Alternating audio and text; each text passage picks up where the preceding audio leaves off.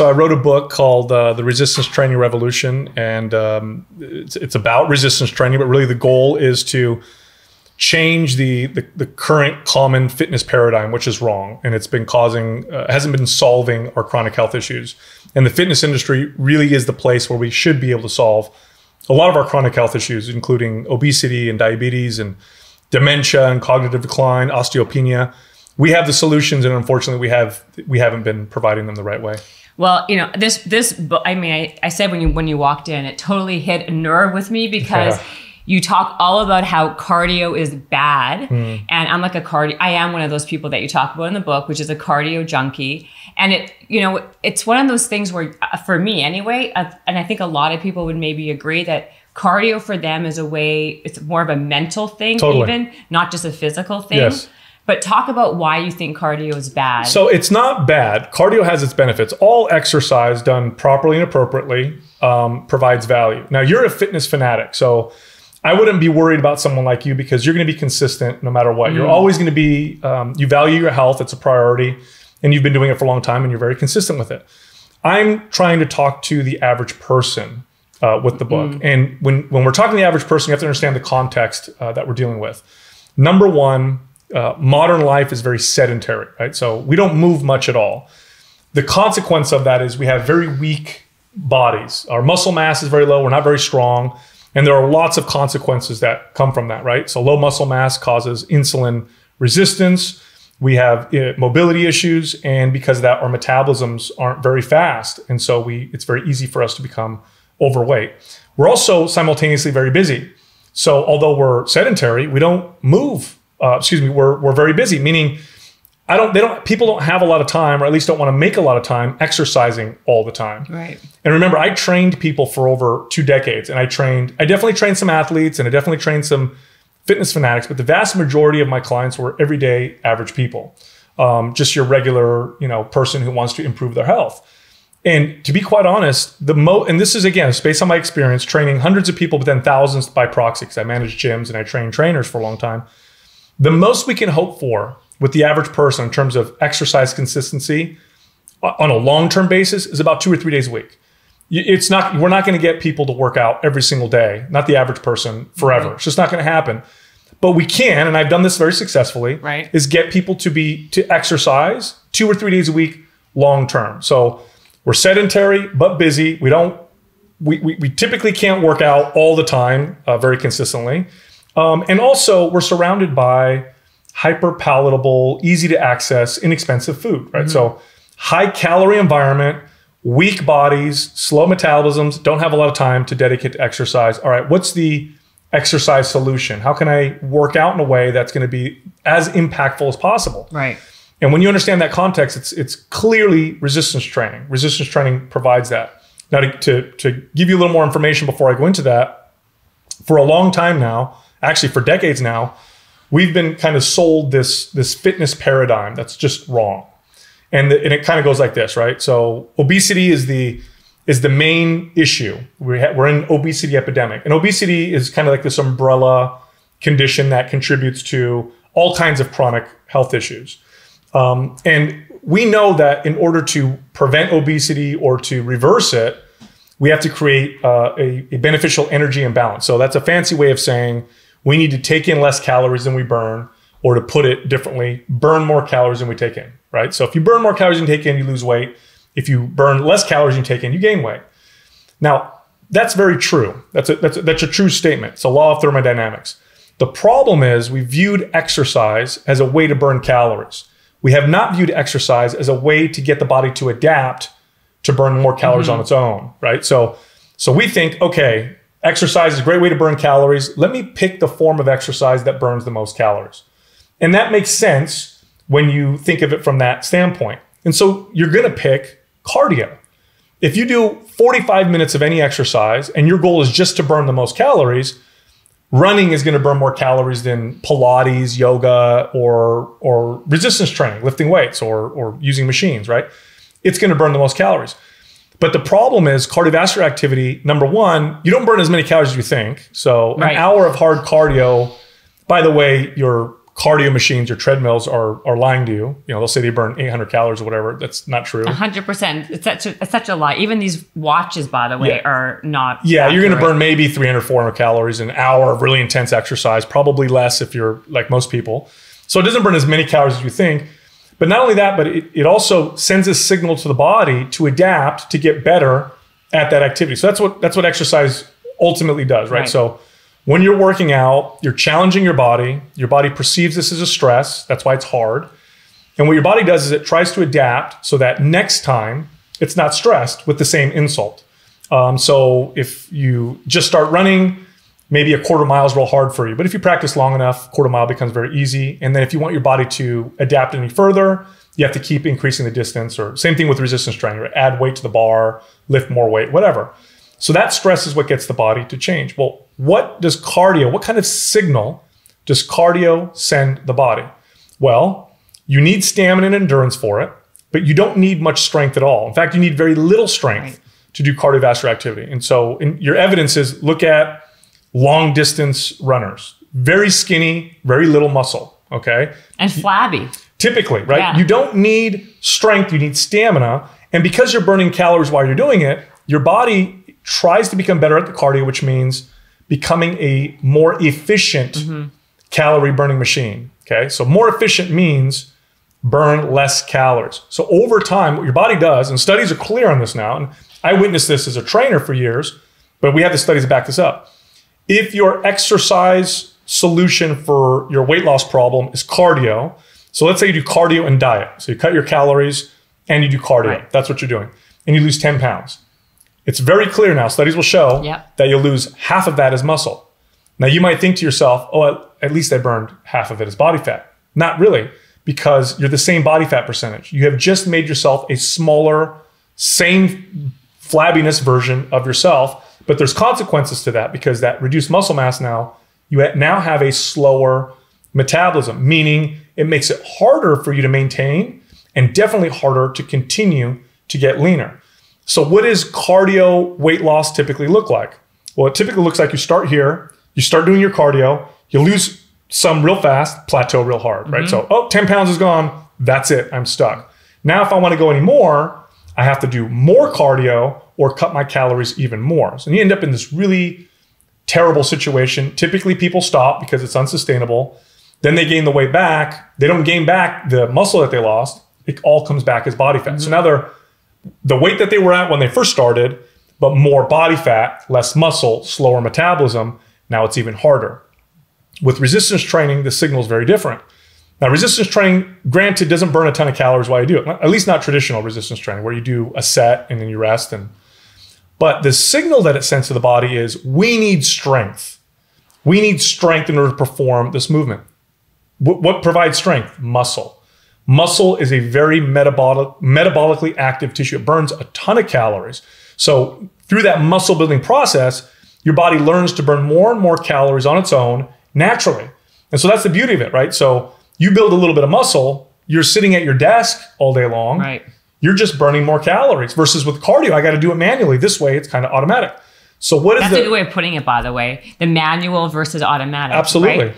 and so what does the fat loss look like with resistance training when that's part of your solution well it starts off a little slower the cardio person lost a little faster initially but the fat loss from resistance training first off it's pure fat you don't lose any muscle in fact you often gain muscle while you're doing it so my goal by the way when i would get a client is zero weight loss on the scale for the first couple months i don't want to see the scale move at all but i'd like to see a composition change Yeah. so, you know, if I'm training Mrs. Johnson and two months later, I'm weighing her, body weight's the same, test her body fat, it looks like we lost four pounds of body fat and gained four pounds of muscle. By the way, muscle is very dense, doesn't take up much space. So if if you lost, if somebody lost 10 pounds of body fat but gained 10 pounds of muscle, they'd be smaller Right. because muscle is very dense, it's tight, it's sculpted, it gives people shape, um, it doesn't take up much space. But the weight loss is a snowball effect. You start to see this happen. And over time, it starts to accelerate where you get more and more fat loss as the metabolism starts to kick in. And you don't need to do a lot of it. Really, for most people, a couple days a week of traditional, appropriate resistance training will provide all of those, those benefits. and there, there's so much more. But so you say more. that, I mean, like you say two days. uh, So basically, a couple things to what you said. Number one, because the cardio becomes a psychological thing, right? Where Yes. you how that's the problem. Like, how do you break that psychological, you know, vicious cycle? Because you know, to your point, because it becomes like an endorphin thing. You burn, Yes. you kind of feel those endorphins. How does someone who does cardio, how do they switch and pivot? From doing that amount of cardio and pivot to the strength Right. and give up because what will happen initially is you may end up gaining weight initially Right. because your body's not used to it. That's right. And can you talk about that? Absolutely. So so that's a different person that I'm talking to, Yeah. right? So if I'm talking to Talk somebody, about everybody because I think there are people who listen to this are people who work out already. yes. So if? I'm talking to somebody and they're like, "Oh my gosh, I do five days a week of an hour of cardio. I like what you're saying. How do I transition?" Well, it's it's actually much more easy than you think. If you're doing five days a week of, of cardio, bring that down to three days a week and add two days a week of resistance training. So just replace the resistance training for cardio, and then slowly your goal is but psychologically, it's hard to do that. Of course, it totally is. We tend to become attached to the forms of activity that we, we engage in. By the way, if you do cardio because you enjoy it, I don't want you to stop uh, to try another form of exercise uh, for that you don't like, right? So at the end of the day, and I would always say this to clients when someone would ask me, "Hey, what's the best form of exercise?" I would always say the one that you like the most. Yeah, same okay? same thing. Yeah, consistency is the most important thing. So if you just love cardio and you really don't like resistance training, honestly, one day a, re- a week of resistance training will give you some great benefit, and then you could do all the other exercise you want. Like I said earlier in this podcast, uh, all forms of exercise do provide value. So I don't want to. I'm not trying to tell people that that you know some are bad. All I'm trying to say is that the for the average person whose goal typically is, I want to lose weight. I want to be fit. I want to be mobile. I want to be healthy. I don't have a lot of time to exercise. What should I focus my time on? Well, then in that case, you pick uh, resistance training. Um, but there's there's so much more, and there's there's a whole there's a there's a lot of reasons as to why, by the way, we're in this position because here we are, right? So you know we're, we're 2021, and resistance training still has this kind of stigma. It still has this stereotype. Now I remember when I Yeah. first started working in gyms in the I started working out in gyms in the mid 90s, and I managed my first club uh, in I believe it was 1998 when I managed my first gym, and uh, I saw no women in the in the weight area ever. In fact, the gyms that I managed they had a separate area for women to work out, and and in their area they had like five pound dumbbells and a few machines. They just didn't go in the weight training area, and the only people that lifted weights or used resistance training were people who were interested in building lots of muscle. Yeah. Everybody else was doing classes or treadmill or swimming, but nobody really was doing resistance training. Um, and and today we've moved quite a bit, Yeah. but it's still stigmatized. I still, if I talk to the average person, now if I talk to a fitness fanatic, I think they're more in the know, right? But if I talk to you know your neighbor who you know they don't really work out, but the doctor said, hey, your should- blood lipids are off, you need to start exercising. If I said, hey, you should start lifting weights, oh no, I don't want to get big. Yeah. I'm not trying to get bulky. Like I just want to be healthy. Um, so it still carries that stigma. One of the reasons for that, there's many reasons. One of the reasons is the studies that were done on exercise for health were almost never done with resistance training. So although now we see studies, if you go back, you know, two decades, three decades, four decades, when they were studying exercise to see its benefits for overall health and longevity, they never picked resistance training. It was always cardiovascular activity. Yeah. Always. So we had no idea. All the studies that were done on resistance training were focused on athletic performance and strength. It was never health. So we never knew that resistance training was an amazing form of exercise for your heart, for example. By the, for example, by the way, we now have studies that show that in head-to-head competition with cardiovascular activity, resistance training is actually better for heart longevity. No joke. Wow. Absolutely. I saw a study also that said that it's all you can have other detrimental like health effects by doing too much of a cardio, right? you can cause uh, premature aging of the heart and uh, buildup of, of calcium plaques Yeah. uh, in the arteries. Uh, I, ne- I never knew that. well, this is why you see some of these extreme endurance athletes that, you know, they, they die early and you're like, what the heck happened? I thought this person, Yeah. and it was just, they, they just went too far. They went too hard and it, and it definitely damages uh, the heart. But Yeah. resistance training in these studies are, are is actually uh, better for longevity and for heart health. Um, for cognitive benefits, uh, and especially to prevent Alzheimer's and dementia. And that's this is a big deal, by the way. Alzheimer's is just Yeah. it's becoming a big problem. Only one there was a, a study done out of uh, Sydney, Australia, and they found that resistance training, strength training, to date is the only form of exercise that's been shown to halt the progression Really? Yes, halt the progression of uh, of things that happen that cause Alzheimer's. The only form of exercise. Now you may be wondering, well, how? how why is this possible? Researchers sometimes will call Alzheimer's or dementia type three diabetes. Right. So we have type one diabetes, Yeah. type two diabetes, and they'll sometimes refer to it as. In fact, if you Google type three diabetes, you'll see Alzheimer's and dementia. I've never heard that before. It's not an official term, but the reason why they'll use that sometimes is because they believe it's our brain and body's inability to utilize uh, glucose properly. So it's almost like diabetes. Like my brain can't. This is why when you take people who are on uh, who have Alzheimer's and you Yeah. put them on a ketogenic diet, Right. no sugar, and all of a sudden they have cognitive improvements. It's because it's as if their brain isn't able to use glucose like it used to, Right. and this leads to these problems. Okay one of the best uh, protect protections you could do you could possibly do for yourself to improve insulin sensitivity is to build muscle. yeah. In fact, building muscle will improve your insulin sensitivity and protect you from uh, diabetes, regardless of your body fat percentage. You know that? So No. you can take somebody who's obese, Yeah. have them build muscle, and you see a great protective effect uh, in, in terms of insulin. So that's that's probably why resistance training had such a beneficial effect on the brain is because it's building muscle. And so the person can remember muscle stores glycogen, Yeah. so it can burn up sugar. Um, it's also insulin sensitive, so your body's going to utilize that insulin a little bit better. Yeah. And so it's just an amazing protective mechanism. Is it better than walking? Because everyone says walking is the number one exercise. So here's why I like walking, right? I like walking because it's easy and Yeah. you can inject it into your everyday life. Yeah. Um, Anyone ex- could do it. Right. So, for example, if, if if a client says, "Hey, I want to be more active. I've never worked out before, and I hate exercise. What's a great way to become more active?" I'll say, "Okay, why don't we attach activity to your normal daily routine? So, you eat breakfast, lunch, and dinner." And they'll say, "Yes." I'll say, "Okay, here's what I want you to do: ten minute walk after breakfast, lunch, and dinner. That's thirty minutes." A day, and it's attached to something that they already do, and it just keeps them consistent. It's easy. I don't have to change into workout clothes Yeah. get on equipment, I can go do it. So walking's great for that. But if you compare it head to head to structured resistance training, it, it pales in comparison. It, does, it doesn't even come close. Right. And it doesn't matter what parameters you use, uh, whether it's fat loss, uh, joint mobility.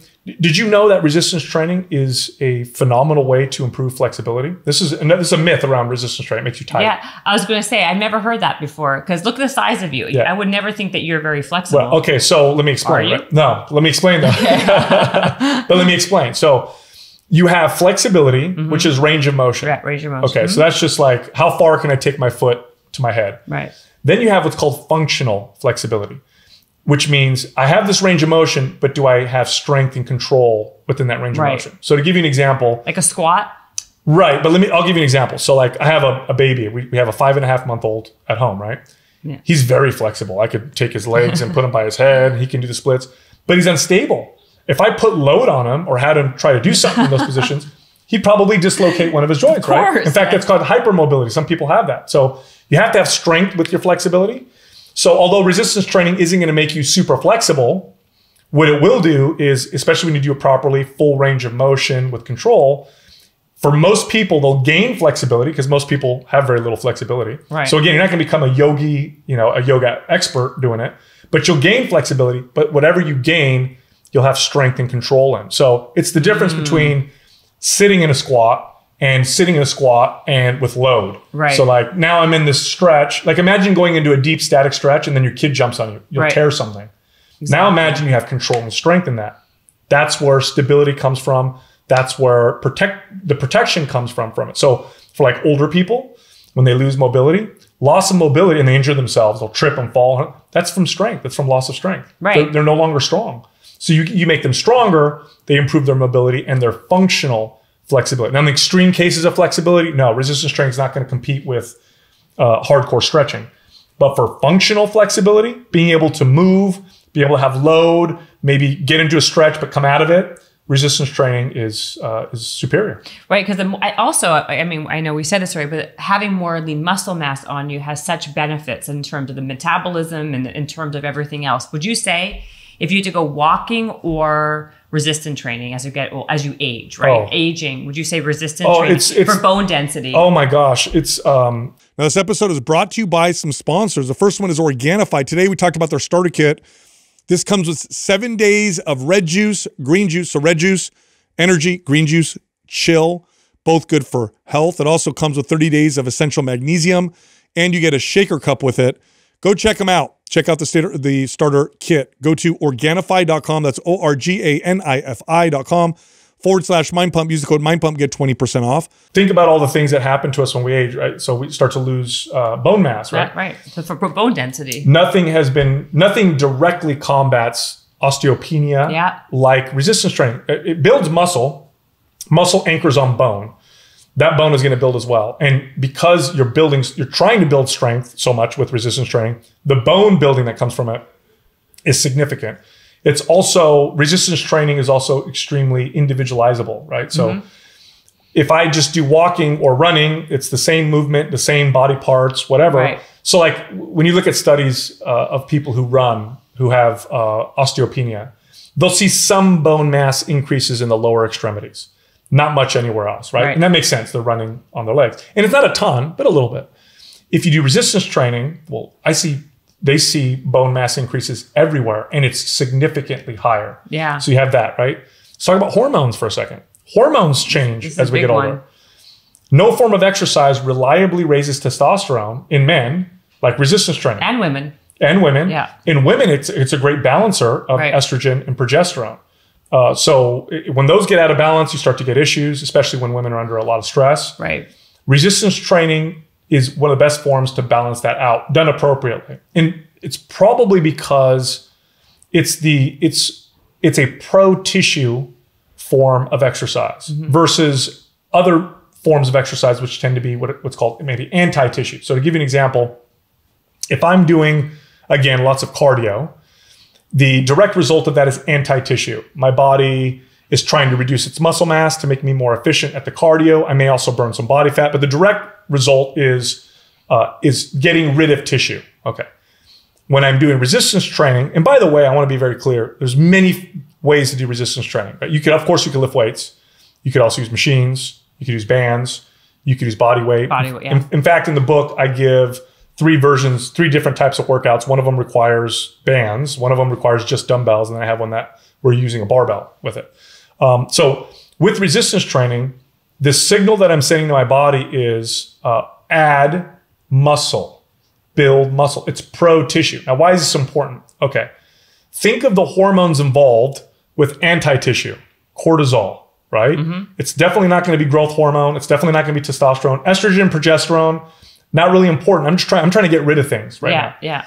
pro tissue. I want to build muscle. What do I need for that? Growth hormone, testosterone. I need a good insulin sensitivity. Uh, my my estrogen, progesterone need to balance out uh, in order for that to happen. So when you're sending this signal to your body to add this very metabolically active, healthy tissue, you're you're also simultaneously telling your body we need all these great hormones. Okay. Right. Yeah. That's right. In fact, you know, if, if someone's thinking like, is that really true? Well, yeah. If you took anybody and you, and I wouldn't recommend this, but if you injected them with these pro tissue hormones, give someone growth hormone and, and testosterone, Right, right. see how they feel. They would feel incredible. Energize, younger. I mean, they've got a million. Oh my God, things. you could go to what do they call them? Rejuvenation clinics. Yes, of and they'll actually prescribe these things to you. Right? To it's huge. I mean, I think I asked you that last time you were on, all about the different types of like. What, maybe I didn't. I don't remember. But like even those peptides that Yes. people are going, or like they're doing those testosterone bullets in your butt. Yeah, they're yeah. putting those little things in, like Yeah. for people who are aging, or you know, people are taking HGH. Yeah. But like this is the only way. Resistance training is the only way to really change the shape of your body. Yeah. And to elevate these natural hormones in your body. Yes, and I'm glad you said change the shape of your body. Um, you know, and I, you know, I, I'm careful when I talk in this direction because I do, I try to communicate fitness through a very positive body uh, acceptance uh, standpoint. Right. No, I ma- understand. And I mainly understand. because I, um, I've seen that be much more effective long term. Right. That being said, look, the, the reality is we look in the mirror We see parts of our body that we want to change the shape and whatever. Right. Okay. Um, And by the way, I think it would be remiss to not be be honest. That people are working out a lot of times for vanity reasons. oh yeah, that's the number one reason. hundred percent. Yeah. They want to look good. I mean, of course, it's great to, for health reasons, everything else. Yes. But if we were, we, we'd be living in La La Land. Yeah. Well, we, I am anyway in LA. but if you didn't think that people are doing it also for for vanity. Yeah, that's too. the number one reason. Number one reason why anybody starts exercise is because they want to change the way they look. And I do talk a lot about starting that way and then transitioning it to I do this because I want to take care of myself. I do this Feel because, good. because that's really the only long term way to do it. Because at some point you're going to turn 70, 80, 90. Yes. And if you're so attached to your image or your looks, you're going to be in a really rude awakening at that point. Absolutely. Nonetheless, okay, we want to change the way we look, and we tend to have specific parts of our body that we want to change, right? So if you ask somebody, you know, what are your goals? Oh, I want to get in shape. Yeah, but what do you want? How do you want to look? Oh, I want more shape here, more shape there, more arm, whatever, right? the only form of exercise that allows you to sculpt your body like a sculptor specifically is resistance training. Yeah. You can't do that. So you can't spot reduce body fat, right? Right. I can't say I want to lose body fat from here, train this area. Your body burns burns body fat kind of systemically in your genetics determine, Right. right? But I can build muscle. I can build muscle in a very targeted way, and muscle creates shape, sculpt, tone, Mm-hmm. and firmness, right? So I can look in the mirror and say, I want, you know, okay, my Big my, biceps. right, or hey, my waist isn't isn't that tight. Um, how do I give myself the illusion of, of a smaller waist? I know I'll develop my back a little Right. bit, or you know, a woman may say, you know, I want my my butt to look better. Build your butt. You don't even have to get leaner. Just building the muscle underneath will give you make your butt Yeah. look even better. Or I want my calves look or whatever. It's the one form of exercise that I can look in the mirror and I can literally, like a sculptor, you know, pick exercises and movements to shape and change my Yeah. body the way that I want. Um, and along those lines, um, it's it's a it's a form of exercise that's so moldable. It's the only form of exercise that I could do with anybody. I don't care who you are. I, Right. You could be young, old. You could be in a wheelchair. You could be injured.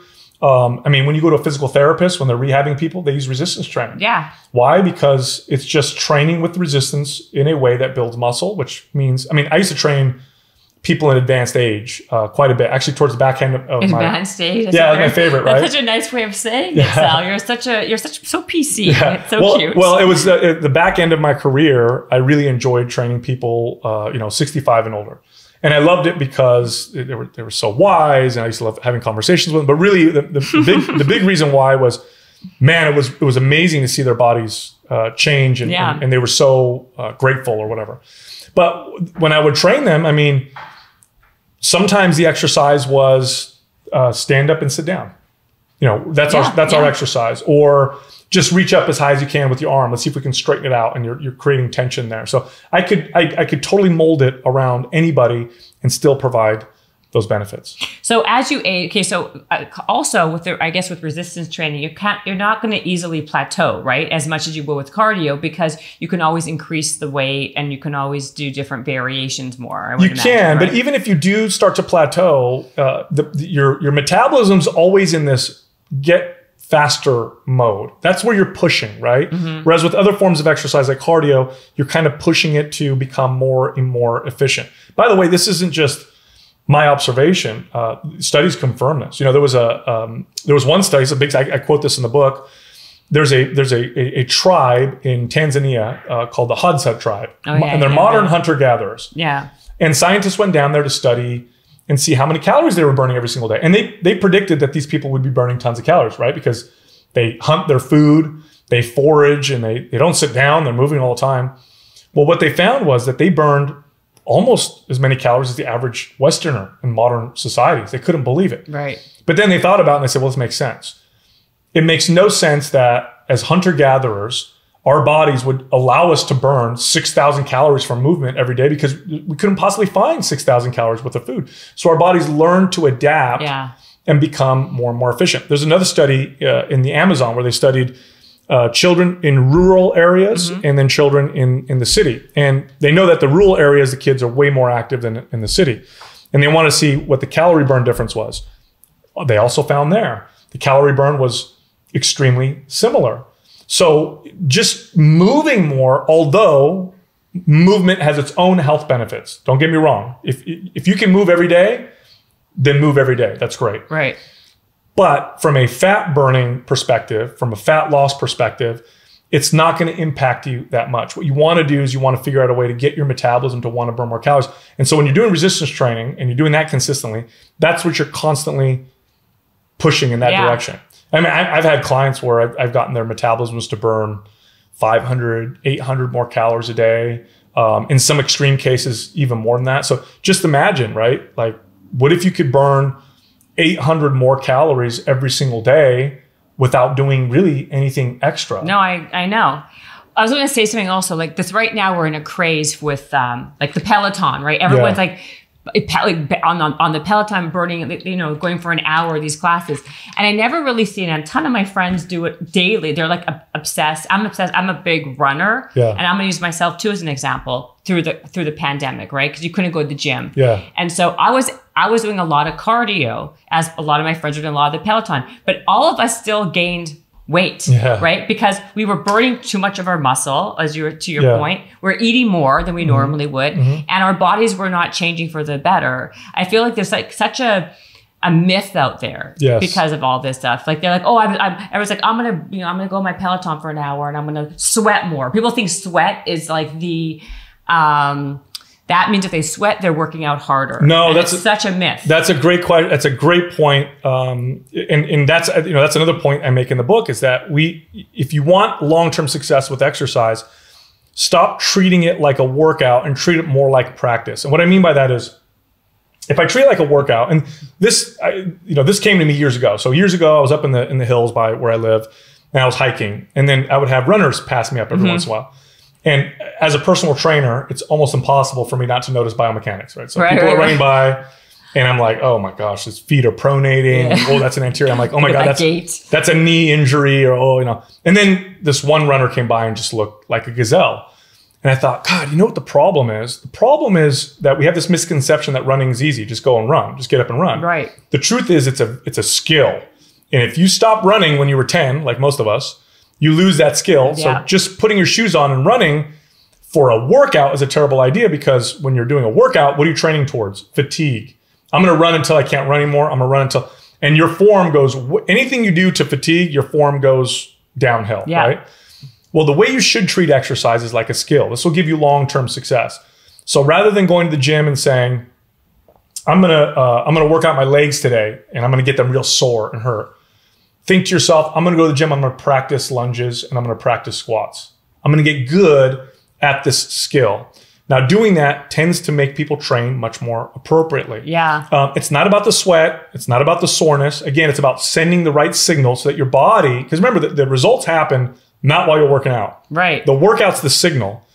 The results happen afterwards. What did that signal promote? Well, if I train too hard for my body, by the way, mm-hmm. this is individual, right? But if I train too hard, all my body is concerned with is healing. And so, what does that look like? Well, I go to the gym, I get really sore, yeah. then I heal. I go back to the gym. I get really sore and I heal. And meanwhile, I never improve. It's always the same weight, It's like, yeah. always the same exercise. My body doesn't really change. I'm just healing, recovering, healing, recovering. What you want to do is you want to send the signal so that your body heals, but then has room to adapt, like Right. super compensate, right? So a little bit of healing, but mostly adapting. So the way you should feel after your workouts, and there's nothing wrong with sweating, but really the way you should feel after your workouts is energized. You should never leave a workout feeling like you beat the crap out of yourself. You should always feel like you have more energy coming out of it than you than, than going into Yeah. it. Soreness, maybe a little bit or none. I, when my clients would come to me and say, "Oh man, I'm, I was really sore after last workout. Oh, that was great." I would in my head I'd say, "No, we went too hard. We're going to go much easier." I liked it when my clients would say, "I, I uh, kind of sore," or "Mm, "I didn't really feel it." Then I knew we hit the right dose, and we would stay on that right dose. And of course, as their fitness improved, so did the intensity of the workouts and so forth, and their bodies would just progress. Well, this is the what this is the problem with weights, though. I feel like I mean because you know again it's all psychological. you know, like That you feel like you're wasting your time. Yeah, I feel like because it doesn't give you the same endorphin. I mean, maybe for you it does, Yeah. but most people don't get the same endorphin rush. And because if they're not sweating like an animal Yeah. or like super sore, then they're like, it's a waste of time. I- they really believe that, and I'm one of, even though I know int- intellectually what Yeah. the real answer is, that's a whole other story. Yeah. That you think the if you run like a like a dog for 30 minutes, Yes. it's going to be better. But really, like what I was saying to you earlier, like, but all my joints are sore. Like I can't even, you know, my ankle's sore, my Yeah. knee gets is this, and my hip is this, and it's actually really that is actually aging you. Like Yes. doing all that cardio, like. A, a girlfriends of mine who are going for these like 10 mile walks. I mean, and then they, they limp the rest of the day, Mm-hmm. yeah, you know? Yeah, yeah. Well, you have to, you know, also people like us, right? Fitness Yeah. fanatics, exercise, and I know the average person who's listening or watching to this is going to roll their eyes, but to us, exercise very much can be used like a drug. Yeah. It is for It me. is. Me too. That's what I'm saying. Yeah. And so it can, I can be attached to the feeling, I can be attached to the the action of it. So we have to check ourselves a little bit and and, and be careful with How do you we, do that? Like, give us a practical way, because to tell me, because I haven't yet figured it out. Because even though I know this to be true, tomorrow morning I'm gonna get back on that treadmill Yeah. with all my injuries, and I'll still do my little run, Yeah. even though I know if I only have 30 minutes. The best approach that I've ever had is to take your laser like focus Mm-hmm. and move it into a new direction. Because it's not going to, if I tell you, hey, just do it this way and, you know, trust the process, that's going to be very difficult. But if I say to you, here's what I want you to do, Jen, for the next three months. For the next three months, I want to, I want you to, I want to see how strong you can get. I want you to focus purely on performance. Let's see what you can do with your strength.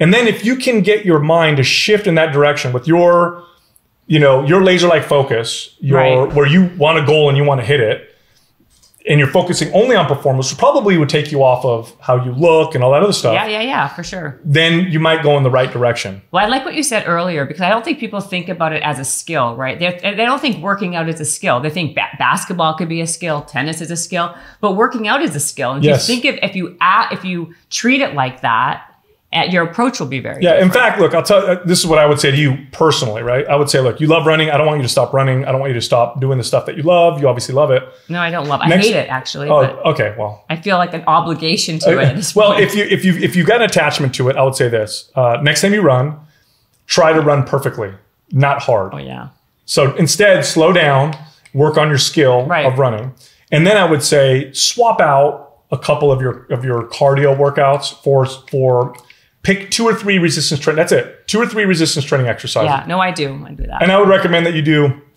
compound lifts and focus on strength. Go slow, rest a minute or two in between sets. Um, and if you're uh, if you're one of those people that has a tough time resting in between sets, which I I have it, yeah, yeah, I feel like you yeah, are Yeah, Yeah, yeah, um, and because you need to be doing something, I would say in between read or in between Read? do something. Well, yeah, something that will something that'll stimulate you. Oh, okay. I can't imagine. You know what it is? I can't picture you just sitting there Uh, yeah, for so two minutes waiting I'll for answer your a next. text. That's what I mean. Oh yeah, Yeah. I'm not going to So- stand there like you know. Yeah, so I, I would say like like maybe there's some work you need to do Well, I in think between sets. not to interrupt you, but I was going to say I do both. I do strength training and I do weights. But I think I mean, and I do the the cardio. Cardio. The problem is I know I'm doing too much cardio, so Yeah. I'm breaking down my muscle. Yeah. When I when I'm doing every, I think I think that's a lot Yeah. of people. They Yeah. do a lot of people do combinations, but they're heavier on the one. Mm-hmm. Um, and if I'm breaking down that muscle, then I, when I when I eat, because we haven't even talked about diet and supplementing and all that, then I can't eat as much because of the not I'm not able to burn as much with Yeah. the ca- Now, and here's the other beauty with resistance training: if you bump your calories a little bit while sending that build signal with resistance training, Yeah. what do you think happens? You gain, you might gain some weight, but it isn't body fat. You're gaining muscle. Now you do you that do with cardio. what if you bump? So tell me, give me an So, example. so uh, let's say the, the cornerstone of my workout is resistance training. like, what do you do? Give me what you do. Uh, well, so for my routine is much more advanced. I've been working out for a long time, so I train about six days a week, and it's mostly resistance training. I also throw in some functional training and then some cardio style HIIT workouts. hits, So I- yeah, that's the so most like, effective. So like Saturday, I'll do like I'll, I'll, I'll push the sled and drag the sled and do that kind of stuff. on- How on long would you work out a day? You, Oh, typically about an hour to an hour and twenty minutes. you will every Yeah. six days a week. Six days a week. Now I've been doing this for a long time. I've been training since I was fourteen. Yeah. and uh, I love the performance of it or whatever. Um, it's not necessary to work out that much for health and longevity at all, but I pu- I push myself But for vanity, that's okay. Health. And, okay, I got, I got you for two Yeah. hours a week for people who want to be healthy. Now, if someone wants to look like that, like look like a specimen, like with Right. muscles and all that Right. stuff, what do you think is be real? Like be realistic. You would still have to start with the two days a week, Okay. but then eventually progress yourself, and you could go really far with a four day a week workout with, with resistance training. so four days a week. yes, you could go really far with that. and talk about over exercise because then you can have the uh, just in cardio the same thing if you can you could uh, do too much and it have have the reverse effect. Absolutely. Remember, you're, you're trying to send the signal, Right. And it has to be an appropriate signal. Um, the right dose is perfect, right? So with exercise, doing too little will give you less results. Yeah. Doing too much will give you less results. Right. And if you go too too much, you can actually cause damage and cause yourself a lot of problems. So what's too too much? Give it. Give us like the. It depends on the person, right? So here's a good gauge. Uh, Okay. the one what I said earlier. How do you feel after your workout? Right. Do you feel energized? That's a good thing. How do you feel the day after? Do you feel better? That's a good thing. Hey, sorry to interrupt. Look, I have a free guide that teaches you how to lose fat in three steps, just three steps that will burn the most amount of body fat and help keep it off. This guide is totally free. We're giving it to everybody right now. If you want it, click on the link at the top of the description below. All right, back to the show. Are you sore? If you are, are you sore to the touch? Then you went too hard. Right. Is your sleep better or is your sleep worse? Is your skin better or is your skin worse? Essentially, if you all your health parameters are improving, not just I beat myself up, but rather You're right. I just feel better. I feel more calm. You should have less anxiety. You should just feel, it should feel right. Now, the problem with that is if you're mentally stuck on, I want my body to change, sometimes we ignore those signals. Right, we I don't care if I'm beat up if it gets me there faster. To which case, I'll tell you, you won't get there faster by going too fat, too hard, or too long. The right dose is the dose that'll get you there the fastest. Right. I agree with that. So then you're saying start off for people who are beginning at least two days a week, Yeah. and then you can move up to four or five. Don't you have to give yourself like you know two days? Like you do six days. Yeah. Isn't that? but You're. I know you're a whole different story, but two days of rest like usually is what nor like Totally. regular people say. You know, here's the thing about uh, about resistance training that's really good is that the the Body parts the, and- change. And, not only that, but the results are are pretty long lasting. So what I mean by that is if you are if you just do tons and tons of cardio and then you stop, you'll see things change real fast in your body. With Real resistance fast. with resistance training, you don't. In fact, they just did a study where they compared groups of people. And one group they had them do uh, it was four days a week of resistance training, and they did they did it uh, 16 weeks straight, not missing a single week. The other group did three weeks on, one week off. So they actually worked out for three weeks and then took one week off every single every every three weeks. They took a whole week off, and they wanted to compare the results. Now Yeah. you would think the group that worked out more got better results. The truth is, at the end of the 16 week study, they were almost exactly the same. So, although when they took the week off, they lost a little bit of strength, when they went back to it, it came back very quickly. This is because of something called muscle memory. Yeah. And muscle memory is a very real thing. And resistance training is what builds muscle memory. So, when you build muscle, just to make it so it's not super complicated, you increase the amount of satellite cells in your muscles. Super And- complicated. Just kidding. and these these satellite cells are responsible for uh, many things, but uh, uh, but some of them can turn into new muscle tissue, or they can promote muscle growth. When your muscles grow, you get more of them, but when they shrink, they don't go away. So this is to, to give you an example. Let's say it took you four years to build, you know, 15 pounds of lean muscle. So for four years, you worked out hard, you trained hard, you're a- you're a guy, Yeah, yeah, and you yeah. gain 15 pounds of muscle. And then for whatever reason, you stop for six months and you lose it all 15 pounds gone. And then you say, you know what, I want to get back into working out. You'll gain that 15 pounds back in about two or three months. So Yeah. it took you four years before, but the second time around, it comes back much Much faster. faster. So resistance training kind of provides that uh, that safety, uh, which is good because, again, think about the average person, Jen. Average person usually doesn't work out consistently week in and week out. They'll miss a week here, miss a couple weeks there.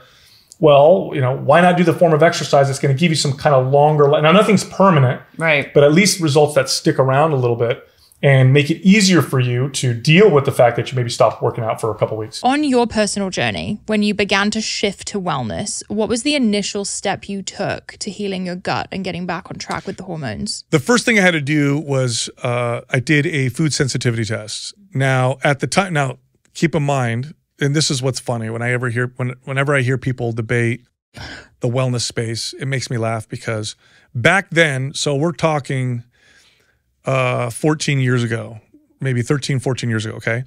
Leaky gut syndrome. By the way, I had a wellness studio and I trained lots of medical doctors, great people, okay? But when I would say the word leaky gut syndrome, oh, they would laugh and scoff and oh, that's some made up, you know, crunchy wellness term or whatever. You know what they call that now?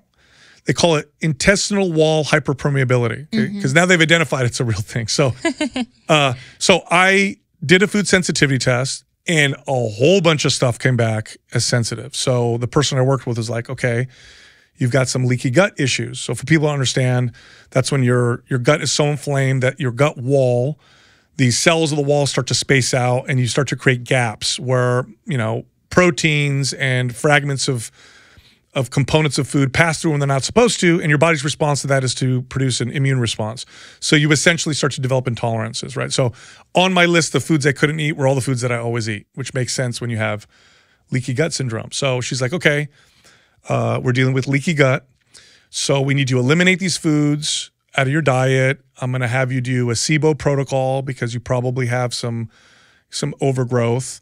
I'm going to have you stop eating eight times a day, which is what I was doing. The old bodybuilder got to eat every two hours type of deal. And we're going to introduce some gaps, some fasting, not for weight loss or anything like that. I think that's a terrible approach, but rather give my gut a break. Um, so I started with that. I used, um, at the time, I used uh, cannabinoids to help with the inflammation in my gut. That was more specific to me. My workouts changed dra- dramatically from the six day a week, like beat the crap out of myself, to like three full body workouts a week. Was that because of cortisol? My my my my inflammation was so high in mm. my gut. Like you know, exercise is a stress, and when you're dealing with chronic stress, your ability to tolerate and adapt to stress is much lower. Yeah. So now I can tolerate much more, but at that moment it was like we have to scale back. Your body's just overwhelmed. Yeah. So I did that.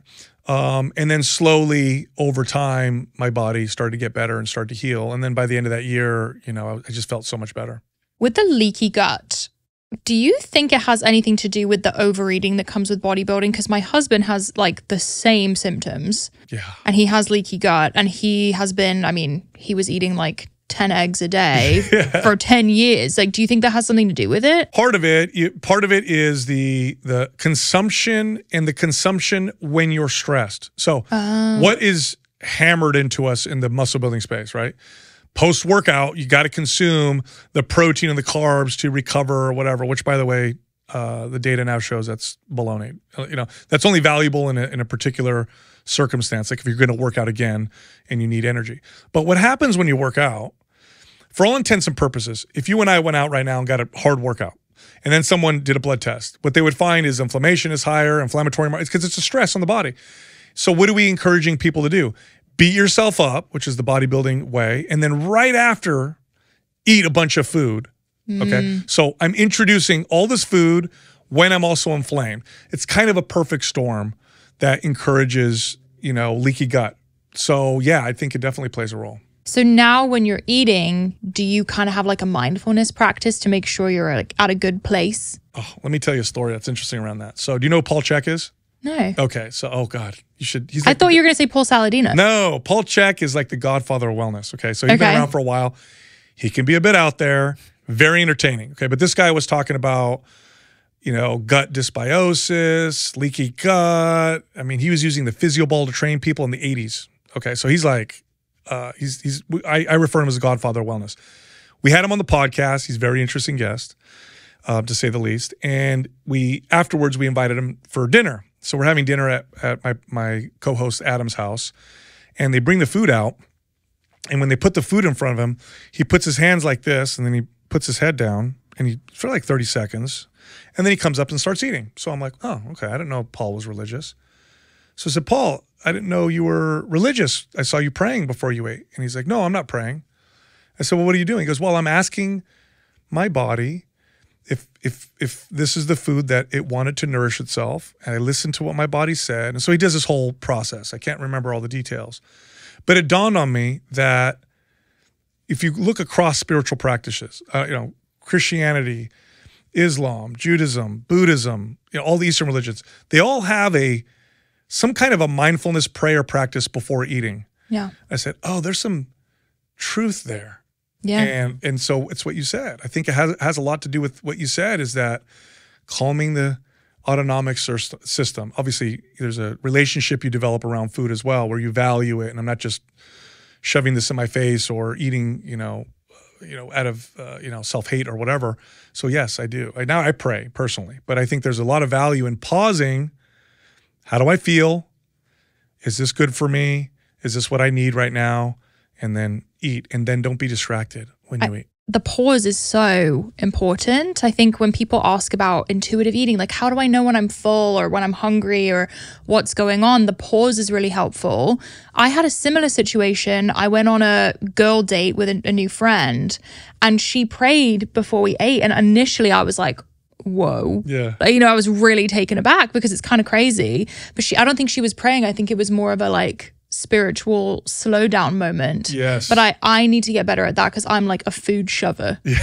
I just had steak and I just ate a bunch of meat for lunch. I'm like a big meat person at the Yeah. moment. Um and I just went in on it because I get hungry. Yeah, you know, when you look at the spiritual practices, they've been around for thousands and thousands of years. So there's whether you believe in the esoteric metaphysical aspect of it or not, there's obviously, if, especially if you look across them, there's spiritual truths, Yeah.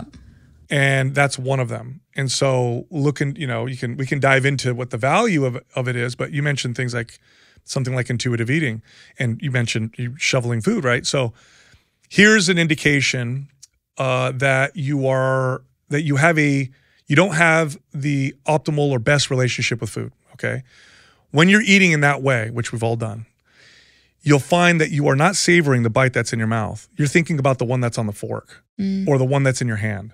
It's not this. It's about it's the wanting. It's not even the having. So a good practice with food is first of all be present. In fact, studies will show, by the way, here's an easy way to cut 10% of your calories. Anybody watching right now, you want to cut your calories. Don't cut your calories, just do this. Don't eat with your phone or TV or any other distraction. And studies will show you'll eat 10% less naturally, just because without even trying, you're more in tune to your body's uh, signals.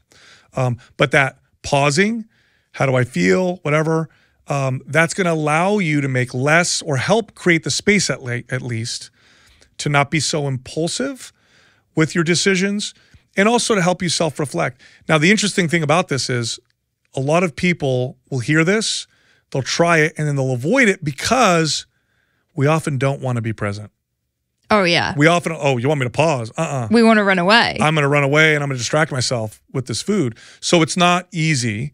yeah. But if you do it, this is what I used to do with clients all the time. So I'd have them keep a journal because I was, I, you know, I, I uh, intuitive eating. I think the term has been, um, you know, it's, it's it's it's been manipulated and it's people don't understand it fully. But this is how I would coach my clients. And one of the things I would do is I would say, okay, before you eat, write down how you feel, why you want the food, then eat. Uh, don't drink water while you eat, not because there's some weird thing about water and food, but rather it slows you down. You just end up chewing your food more and slowing down. Don't be distracted. And then after you're done, write down one or two sentences about how you feel. And there's no magic in it. There's not like the magic was literally making them present.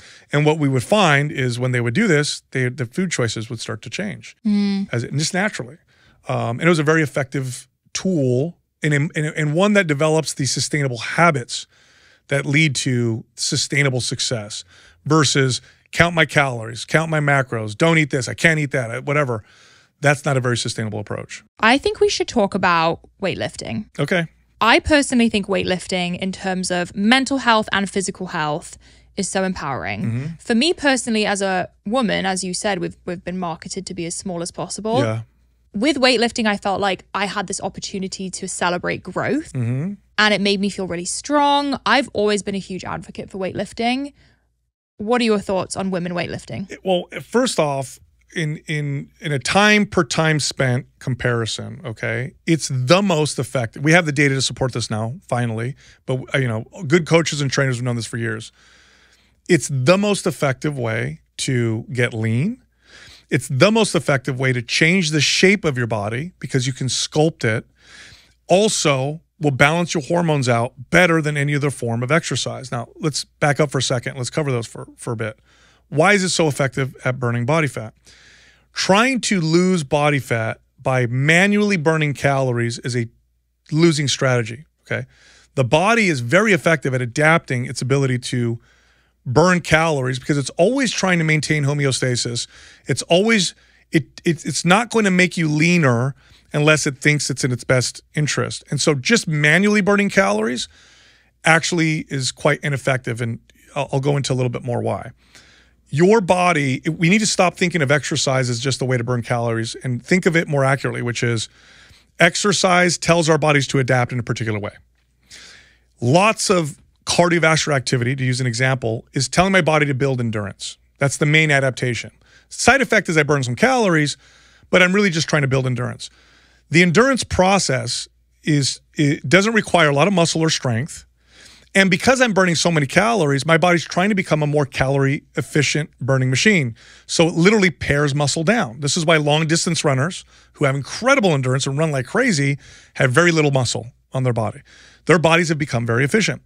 This was highlighted by this groundbreaking study. Now they've done other studies to support this, where researchers went and studied the uh, Hadza tribe in northern Tanzania. This is a modern hunter gatherer tribe. So they literally live the way that we all probably lived thousands and thousands of years ago. They have no electronics, they don't even farm, they hunt and they gather. And on average, these hunter gatherers will walk or run close to 20 miles a day. Okay. Whereas the average person is more like two miles a day.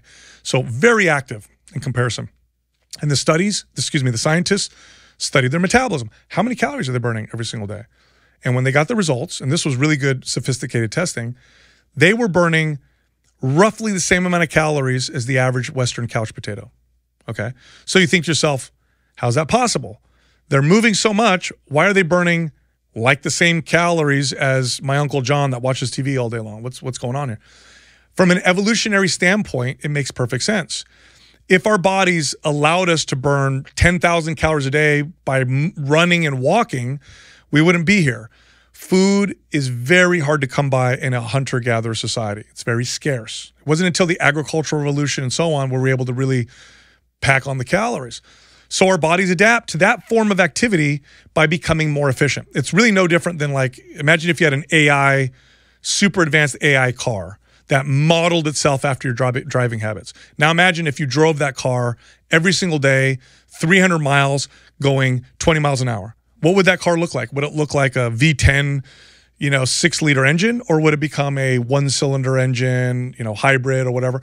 That's what happens to your body. So trying to move and burn your way out of, you know, uh, a body fat is a losing strategy. Your body actually pares muscle down because muscle is very metabolically active. Muscle's expensive tissue. And since your body's like, we don't need to be strong and we need to conserve calories, let's pare this muscle down. So when you look at the studies on lots of cardio plus diet for weight loss, what you see is a significant amount of weight loss comes from muscle. Many studies show as much as half. Now, here's why that's a bad thing. Um, if you were to lose 10 pounds, but five of it was fat, five of it was muscle, you're smaller same body fat percentage version of yourself. You're essentially weaker, same flabbiness. And here's the worst part your metabolism is slower. This is why when people go on that journey, which is what everybody does, right? I want to lose weight, I'm to cut my calories, and I'm to just run. What they find is they lose some weight, but then they plateau. So what's the next step? Cut my calories more, run some more. Uh oh, plateau again. And then they're in this unsustainable place. I'm eating a thousand calories a day. I'm doing 60 minutes of cardio five days a week. I can't maintain this. This is crazy. In contrast, when you look at strength training, the main adaptation signal that strength training is sending is strength. We need to get stronger. So, what does that do? Well, it builds some muscle. Muscle is metabolic, metabolically active. Metabolically active tissue burns more calories. You actually speed up the metabolism. But it's not just that. The process of building muscle shifts your metabolism to becoming less efficient because people may say, well, I saw a study that says that one pound of muscle only burns 12 calories. The mammalian metabolism is the second most complex thing we've identified in the universe besides the human brain. It's super, super complex. And what we found is with the same lean body mass, your body become less efficient or can become more efficient with calories. In other words, you can make your metabolism faster or slower by adjusting lifestyle and by shifting what direction you're telling your body to go and telling your body to build muscle does this. So you may be watching this as a female, you gain four pounds of muscle with good strength training. And what you'll find if you do it right is your metabolism went up five or 600 calories a day. Okay. That is 600 calories. You would have to do two hours of cardio to do that. But now you're burning that all the time. But there's more. Muscle is dense. If you, if everybody watching right now were to lose 10 pounds of body fat, and gain 10 pounds of muscle. You would weigh the same on the scale. You would look very different though. You would be smaller. Muscle takes up roughly three fourths of the space that body fat does. So you're smaller, tighter, more sculpted, and you have a faster metabolism. Why do you want a faster metabolism? Look around. We're surrounded by food. Would you like to would you be able to would you like to be able to eat more and stay lean or have to eat a lot less to stay lean, right? So it's also very sustainable. My favorite part about it is this though. You mentioned growth. Okay. It's proactive tissue. So strength training and feeding myself, which we can get to because you have to do that properly. If I strength train, I am shifting my body towards proactive tissue growth. What hormone profile is re- is required for my body to build muscle? Hey, sorry to interrupt. We have a free guide titled Understanding Your Mood, Stress, and Sleep. It tackles all of those things from a health and longevity perspective. It's a totally, totally free guide. So just click on the link at the top of the description below. Balance. As a man, I need more testosterone. I need healthy levels of growth hormone. I need cortisol that's that's natural and healthy, right? Goes up in the morning, comes down towards the end of the day. For women, you have a balance of estrogen and progesterone. What you're essentially creating is that youthful hormone profile everybody's after by telling your body to build muscle. So it feels different. It feels better. It feels very healthy. We have studies now to support this. There was a study that just came out that compared strength training to cardio to strength training plus cardio. Guess which one burned the most body fat and got the best results? Strength training alone. Alone. It even outperformed slightly strength training plus cardio. Now, I don't want to people to take the message that I'm that I'm saying don't do cardio, don't do other forms of exercise. But if you're going to exercise a few days a week and you want it to be effective, strength training by far is the most effective way to do it. And then the empowering part, this is this was something that blew me away as an early trainer. When I would train my female clients and they would get stronger, they would all say that. I feel so much more secure in my body. I feel so much more empowered. Now, as a man, that was hard for me to understand, but that's because I'm a man. And, uh, you know, that's not something that I think we don't necessarily grapple with. But I had a female client illustrate it to me very well. She came back from a business trip. She was very petite, um, CFO of a, a, tech company, very successful woman. So she would travel often. I started training her, and about three months into it, uh, she had to go to China. She came back, and the first thing she said to me was, she goes, Sal, I got on the plane and I picked up my luggage and I put it in the overhead compartment by myself. Wow. And I said, Oh, okay. And she goes, No, no, no, you don't understand. She goes, Every time I do that, I have to ask a guy to help me. Yeah. I did that by myself. She was tiny. She was like 105 pounds. She's like, I did that myself. She goes, You know how empowering that is? And that's when it struck me like, okay, I get it now. Like mm. you're able bodied, you know, that feels really, really good. So it looks good. It feels good. It's pro growth. Um, it's the best way. It, it is when it comes to the modern world. It's the best form of exercise uh, to combat the the stresses and the ills that we all encounter. And for women, and this is the part that makes me sad. Uh, women have been advertised to so incorrectly and so improperly that they're the most afraid of strength training because they feel like they're going to work out and then wake up tomorrow and look like their husbands or something. It's not going to happen. I promise you, it's not going to happen. Train as hard as you want, train like a bodybuilder, you won't look like one. To me, that is the craziest comment that I see because if they knew how long and how much food that would take and how much, I mean, you'd have to dedicate your life to getting bulky if you wanted to get bulky. But I don't know how much you know about my story, but you just so eloquently put the reason I lost my weight the way I did. So I lost 90 pounds in 2017. And from the beginning, I think I had somewhat of a lucky start in the fitness industry because I had my boyfriend, now husband Greg, who's been bodybuilding since like 14, mm-hmm. maybe even younger. And to me, he looked amazing. And because of him, I was exposed to the world of bodybuilding. So I saw, you know, Angelica, who had won Miss Bikini Olympia that mm-hmm. year. And I always felt like muscle looked really feminine. I feel like when you can build your shoulders and your glutes, I loved the look of muscle. And I also felt like it's to me the best representation of hard work, especially on a woman, because it is difficult to build muscle. So I was intrigued by that from the start. And I ended up losing 90 pounds pretty much solely weightlifting. Yeah. I barely did any cardio, and people are shocked by that. Yeah. It's super effective. And of course, muscle's feminine. Women have muscle. You know, what, it, what the problem is, is that there's extremes that people look at. Yeah. And they're afraid that that's going to be the result. I want to I want to be very clear here. First off, the genetics required to build the amount of muscle that you see when you look in Instagram and you see a woman and you go, whoa, that's way too much muscle. And possibly drugs. Well, yes, that's part of it. But even with drugs, okay, so I could take the average female, put her on a bunch of steroids and have her work out, and she'll just she'll start growing facial hair and stuff like that, and she'll build muscle, but she still won't look like Miss Olympia.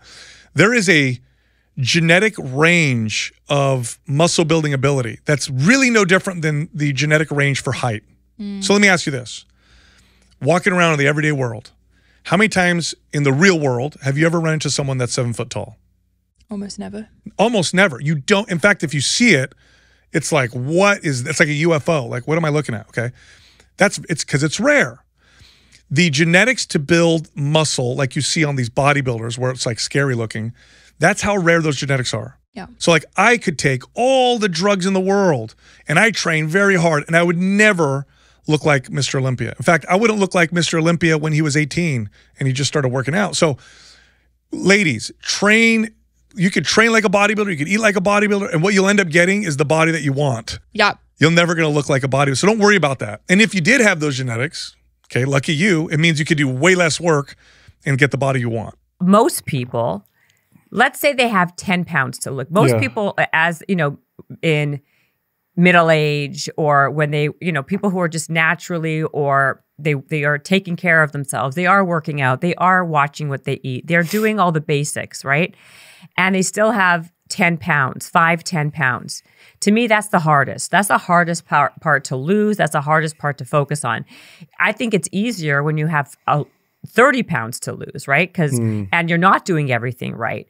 It's for the people who are doing everything right and they still can't lose that last 10 Yeah. or they've gained it because of circumstance, like just life, you know, age, whatever. What, what kind of advice or what can people do to fine tune and to, to kind of tweak their lifestyle habits to lose that last five or 10 That's a pounds? really good question um, because I know, uh, you know, I've worked with lots of clients, and that is a really frustrating position to be in because it's not like, like you said, like, oh, I got to lose 30 pounds. I'm not exercising. I'm eating like garbage. It's like, I'm doing all the stuff. Why? and really doing this stuff. yeah, like not what's, lying. what's going it. on? There's two ways to look at this, or two avenues you could look at uh, in terms of the solution for this. One is to work harder at what you're doing, and the other one is to work smarter at what you're doing. In this particular scenario, now if I'm talking to the average person who's not exercising, it's work harder. Like, all right, get up and move, right? You're not doing Mm-hmm. Right. anything. We're not talking about that. Person. When I'm talking about this person, the answer is almost never to work harder. They're already doing that. They're already pushing. In fact, they've probably already pushed that button to work harder so many times and are frustrated because they're getting minimal results. It's almost always they're not efficient enough. They're not effective enough with the time that they are spending working out or they're not effective enough with their with their diet or their sleep or there's a piece that's missing there. And it usually it usually is their workout. Usually what they're doing with their workout is they're they're doing more and more and more trying to burn more and more and more calories and they're not focused enough on teaching their body to burn more calories on its own.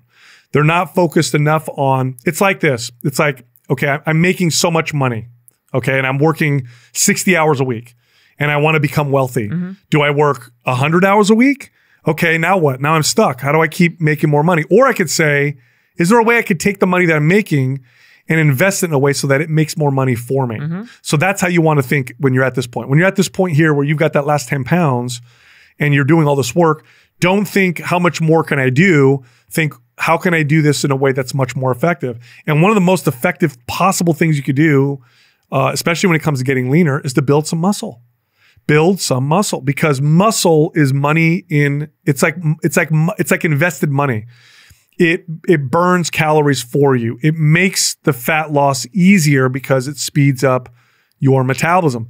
So typically, when I look at somebody's routine, I'll take their total workout and I'll say, okay, how much time are you devoted to workouts that don't build muscle? Let's take that away. Let's devote it more towards building muscle. Or maybe you're working out so much that your body can build muscle because you're overtraining. And let's cut some of that, give your body some rest, feed you a little bit more protein, and see if we can build some muscle. And then what happens is you start to get compounding effects. Okay, so Sal said, I'm, you know, I'm working out five days a week, but four days a week of his running, one day a week is lifting weights. He said lift weights three days a week and only run twice twice Flip a week. it. Yeah, let me do that. Um, okay, uh, nothing's happening yet, but I'm feeling stronger. I'm feeling stronger. Oh, wait a minute. I think I'm starting to get leaner. Oh, wow, look, this is starting to accelerate. As the muscle comes on the body, you get the compounding effects of getting leaner. So in those cases, it's almost, and that's just one example. I, and I gave you an example that's the most common, I would say. But in, in most cases, it's I, I'll look at someone's workout and they're either doing too much or they're doing the wrong kind of workouts. Um, and in which case, I'll either scale it back or change their workouts to make them more efficient, more time efficient. more efficient. But that goes back to the whole thing that you said earlier, right? Like you're going to do the thing you like the most, and the things Yeah. you don't like, you're not going to want to do. So it's about quality of life too, right? Like Yes. if someone's someone who doesn't love to lift heavy weight, yeah. and they really love tennis and dancing and cardio, Yeah.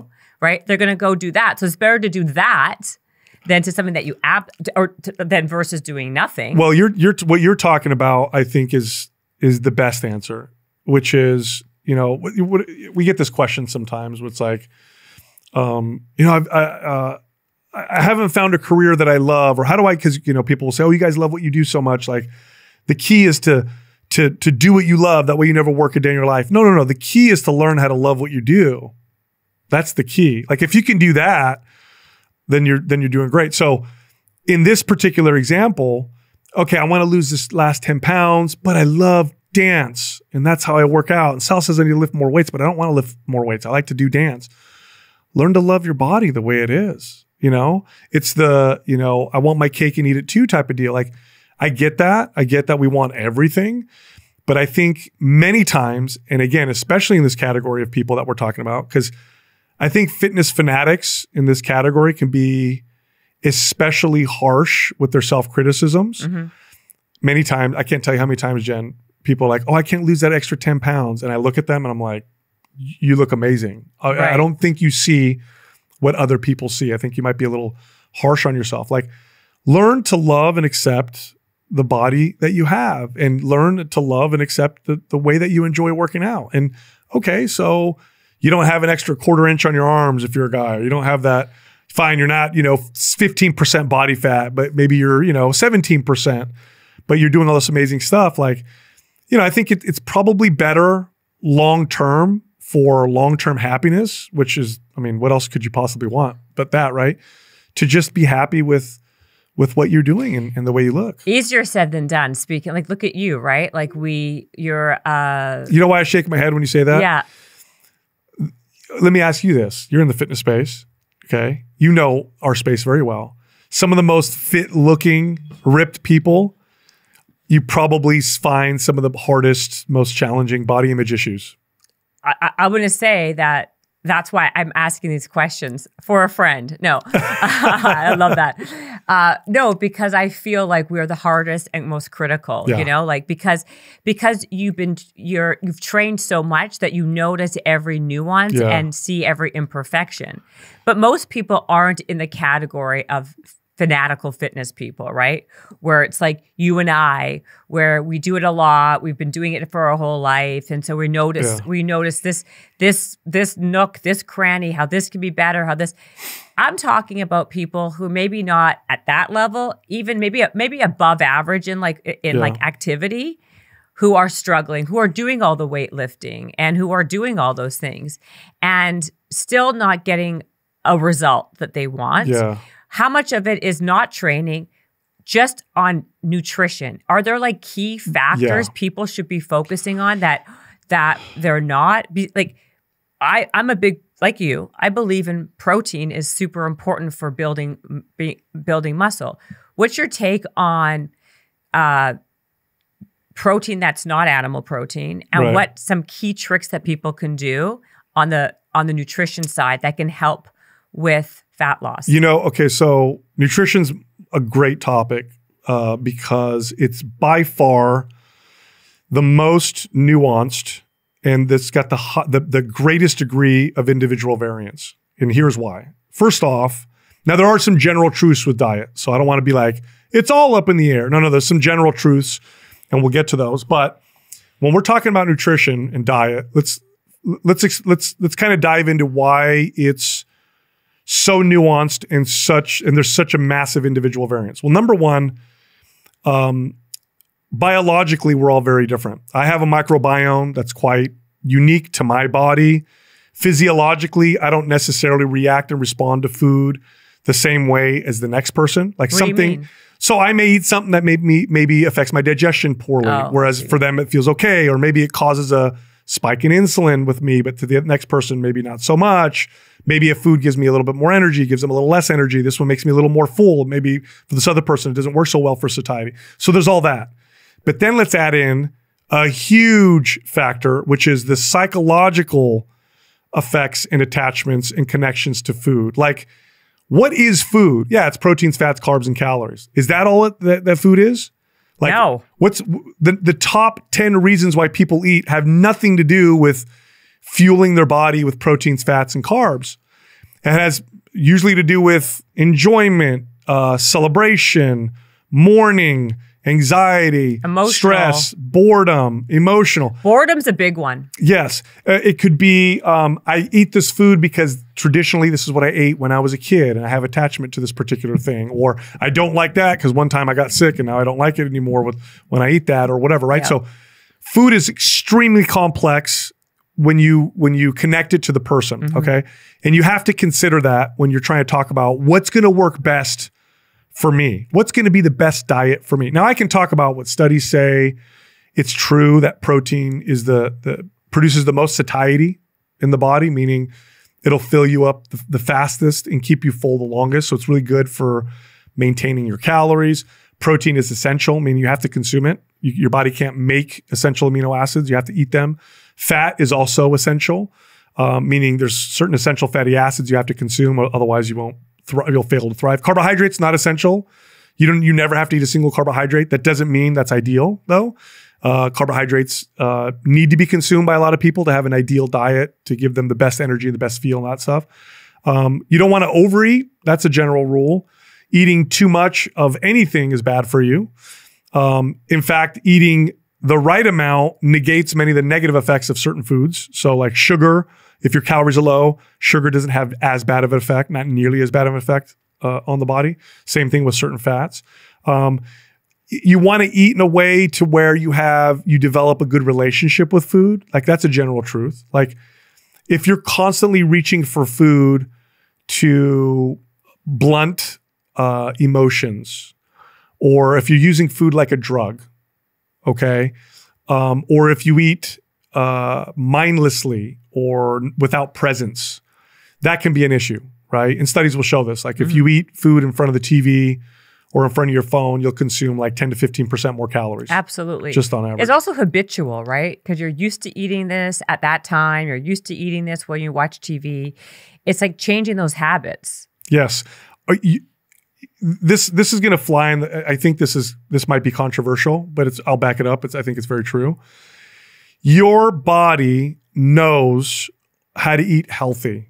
It knows how to eat in a balanced, healthy way. The problem is we're so disconnected from our bodies and we're so disconnected from understanding all of the values of food from an awareness standpoint that we don't know how to listen to those signals.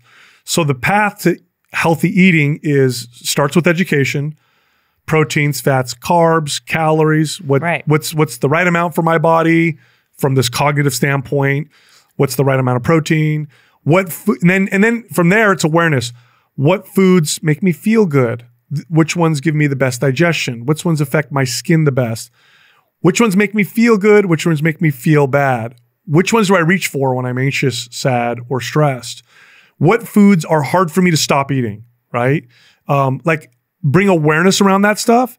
And then you can start to develop a more intuitive style of eating where, um, like for me, for example, I crave well cooked vegetables when my digestion is off. Like I, I crave them. And I didn't start that way.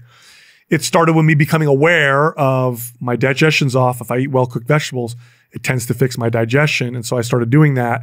And then eventually I developed this behavior where that's what I want when my digestion is off. Yeah. Right. Yeah. Um, so so that's kind of the path towards sustainable, long-term healthy eating. And I will add one thing. if you're looking for a body that looks good, you know, quote unquote looks good, just try to be healthy because chasing health results in a body that looks healthy and that usually looks good. If you chase looking good, you'll oftentimes sacrifice your health. In which case then you stop you stop looking good. And you can see this with people who are body obsessed. At some point like they can't take enough substances, they can't do enough plastic surgeries and everything starts to fall apart or their health goes poorly and then forget all the looks. So it's really a good North Star, right? It's a good guiding uh, principle. It's like, okay, how do I optimize my health with my food? What does that mean? I feel good. I feel uh, healthy. I've got good digestion. Um, I sleep well. My skin feels good. I have good energy. Like if you kind of aim towards that, that'll point you in the right direction most of the time versus what's going to make me look ripped? What's going to make me look good? Because that oftentimes that, you know, that body obsession tends to lead us towards sacrificing our health. And then we end up with nothing. Well, then how? I yeah, I agree with that. I think I love that saying that you say though. That's great. When you chase health, you you that you chase health. Don't chase Aesthetics. uh, yeah aesthetics, and then the rest will follow, kind of thing. It does. It's it so true. Yeah, it was just um, you know, it's a, you know what that you know what that really really hit me as a, as it well it hit me as a trainer because I was always a better trainer to my clients than I was to myself. So I was really good with this with my clients before I really figured this out for me. Really? right? Yeah. Well, yeah, because I mean, this is I think most people, right? You, like like you know, talk to therapists, right? They're like really good with their patients, and they have and then they own have the, the most screwed up people ever. Yeah, exactly. It's So- like pra- you know, it's it's so true though, right? Like Yeah. whatever you're teaching is usually you're you're bad at it yourself. yeah, You're it's something you're working on yourself. Yeah. So I was That's really why good. a lot of trainers become trainers, by the way, and that's why a lot of people get into the fitness business. Totally. to your point, Hundred right? percent. So I was really good with my clients with this, and it just dawned on me. It's like, oh my god! Like when I get my clients to really want to be healthy, they get all the results they want, and then they stick. The results stick because they're valuing the health rather than the just the appearance. It also dawned on me when you look at like studies on why we consider certain things attractive. Like, why do we consider healthy skin attractive? Why is there a hip to waist ratio that we tend to universally find attractive? Why do we find a shoulder to waist ratio in men that's attractive? You know, uh, you know, why is muscle more attractive than no muscle? Um, why is a certain body fat percentage considered attractive versus too little body fat or too much body fat? It's because it's all reflective of health. Evolutionarily speaking, if you saw somebody, like these are the signals that you would get to tell you this person is healthy, is vibrant, is fertile. I want to mate with them or whatever.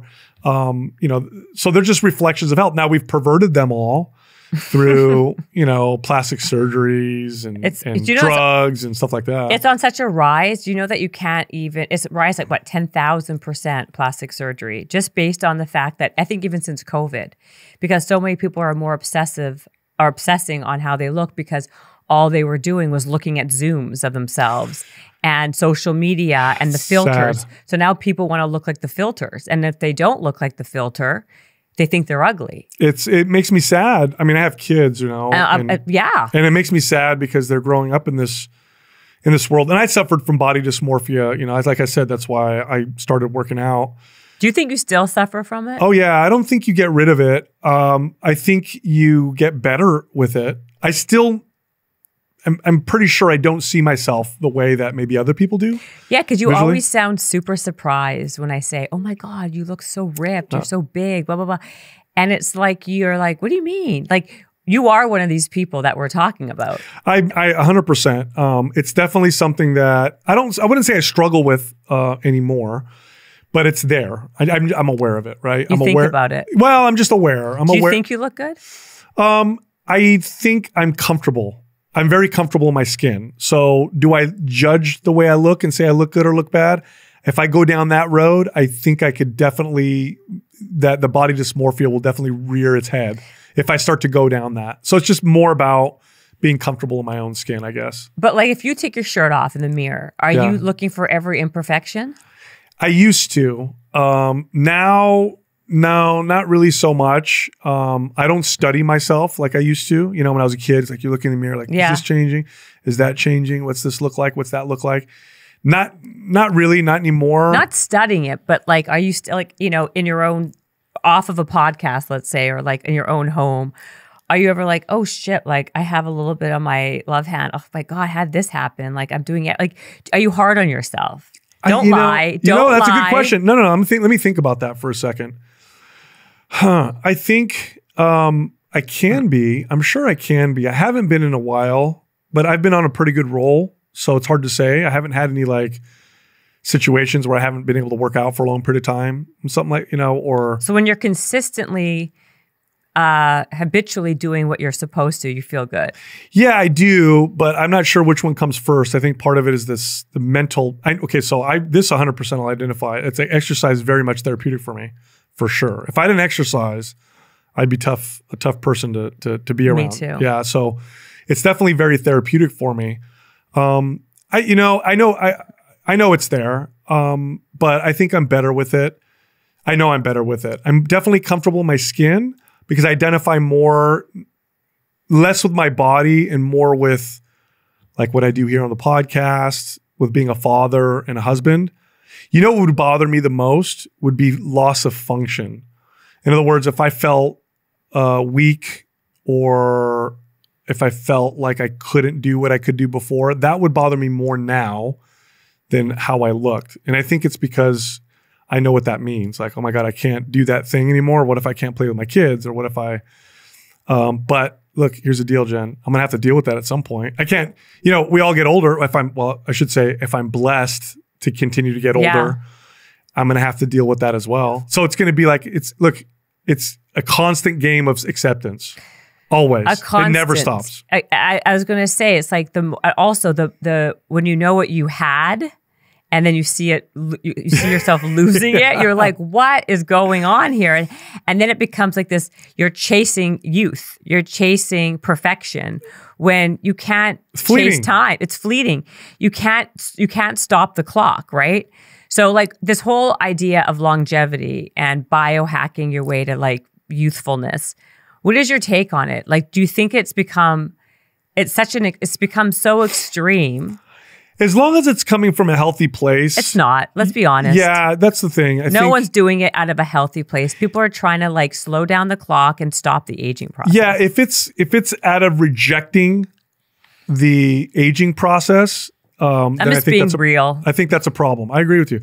I think if it's like, oh, like this is, you know, going to help maintain my mobility, my independence, improve my quality of life.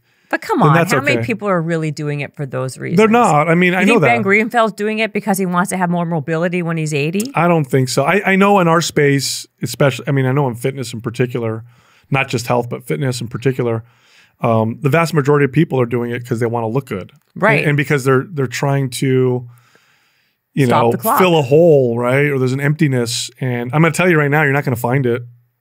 You ain't going to find it until you learn to accept the, you know, yourself and accept, uh, I guess, reality you know so uh, it's it's just not going to happen it's if you use fitness in that way fitness can become very dysfunctional Well, also, does the do these quick fixes or whatever you want to call them actually work? I mean, I don't know. I have the red light at my house. I have a, a sauna Yeah. at my house. I have a cold plunge at my house. My house looks like a wellness spa. Yeah. Okay. And I'm sure, like you know, with your the peptide and the testosterone and the supplements. I mean, at at what like how much of this stuff is stuff that basically costs a lot of money and keeps basically it's making the economy trillions of dollars, right? Because we're, we're everyone's chasing youth. yeah look if you looked at a pie of a, you know, the pie represented 100 all that stuff is like 1 or 2% that's the truth Right. all the 99% is uh, your exercise mindset sleep and diet now the question should be how much of a difference can exercise diet sleep and mindset make Big. in your life? Profound. Profound. It's the most powerful antidepressant known to man. It's the most this is by data facts okay? It's the most powerful anxiolytic right? Anti-anxiety known to man. It is a vehicle for personal growth. If you follow it and you do it the right for the right reasons you learn acceptance you learn discipline you learn about uh, the value of work and effort. Acceptance because you accept your body for what it is because you, you ain't going to keep going forever if you, you you know once you realize you ain't going to look like your favorite model well you keep going anyway and you accept that you you're your own person. So it has profound effects but more so because it's a it's that journey that you're on um, and it can have those profound effects. All that other stuff is cool and it can be fun but it's so small now the question is well why is it talked about all the time because they could sell that Yeah, of course. It's like it's actually something that they can. They can the funnel can send you there, they can monetize it. or they it. can monetize it. This is the thing. What's what works isn't sexy. You know, at the end of the day, the things that work are the still the basics. Yes. it's exercise, move more, sleep more, eat better. Like these things, and these things have no price tag on it. No, it's They're it- free. No, and it's literally, and the data is very clear on this: S- proper exercise, good diet, good sleep, good spiritual practice. I want to include that because the spiritual practice has been shown to be profoundly impactful on mental health and longevity. Okay, it's also shown and success of life, success of marriage, success as a parent, uh, just just overall. Um, and then you know you could throw mindset in there. I think would you you, you could probably throw in there, but that's like it right there. Now, I know that sounds like oh that's it. Well that, that's a lot. And community, I think, too, is in there too. Yeah. Oh yeah yeah. yeah. you Your put that- relationships. thank you. Or community, like keeping people around you. Like that's why have you you know about the blue zones, right? Yeah, I do. And the people who live the longest are the ones who have like the deepest communities around them. And honestly, walking was the most most important, best exercise by a landslide. I agree. I think walking's uh, for for a few different reasons. One, most people can still walk, and that means that they can. They, there's they don't have to like learn the technique and skill of it, so the injury rate is low. It's easy, it's convenient, um, and uh, as a result, it's one of those things that people can do on a very consistent basis. So no, walking is number is actually one of the best forms of exercise for those reasons. And if you add, add something else to it, strength training, and then you've got and then you got and then you're good but Yeah. yet people don't want to hear that so that's why then that's why a lot of these like these uh salesmen you know biohackers sell a shit ton and make a bazillion dollars because they can't they can't make money off of go walk outside or you No. know like go you know that doesn't that doesn't sell people don't and i guess i guess my question is what is behind the psychology of we all know psychologically and intuitively what works and yet we're still able to be tricked and or manipulated. We wanna be we- tricked. I know we we want to we allow the manipulation. Like I know, like we're having this conversation right about what really works, and like you and I have done it all. We know it all. And at the same time, I'm a sucker. I'll go get that red light. Yeah. I'll go do that cold. I'll go do all these things. Like, why do we? Why do we still behave and and go down that those rabbit holes and those paths, even if we know better? Yeah, well, you're you're you're an aficionado, right, with health and fitness. So for you, it's probably more fun to try different things. Yeah, besides that, same like- for me also. I think for the average person, they want to be lied to. They want to believe that their answer is in a drug or a device or a special diet. Um, you know, where they just don't eat this one thing or just eat this thing. They want to believe it, um, and they uh, want to be fooled. You know, people that because the other the other option requires work, uh, time, right? It takes work and time. Now, here's the myth.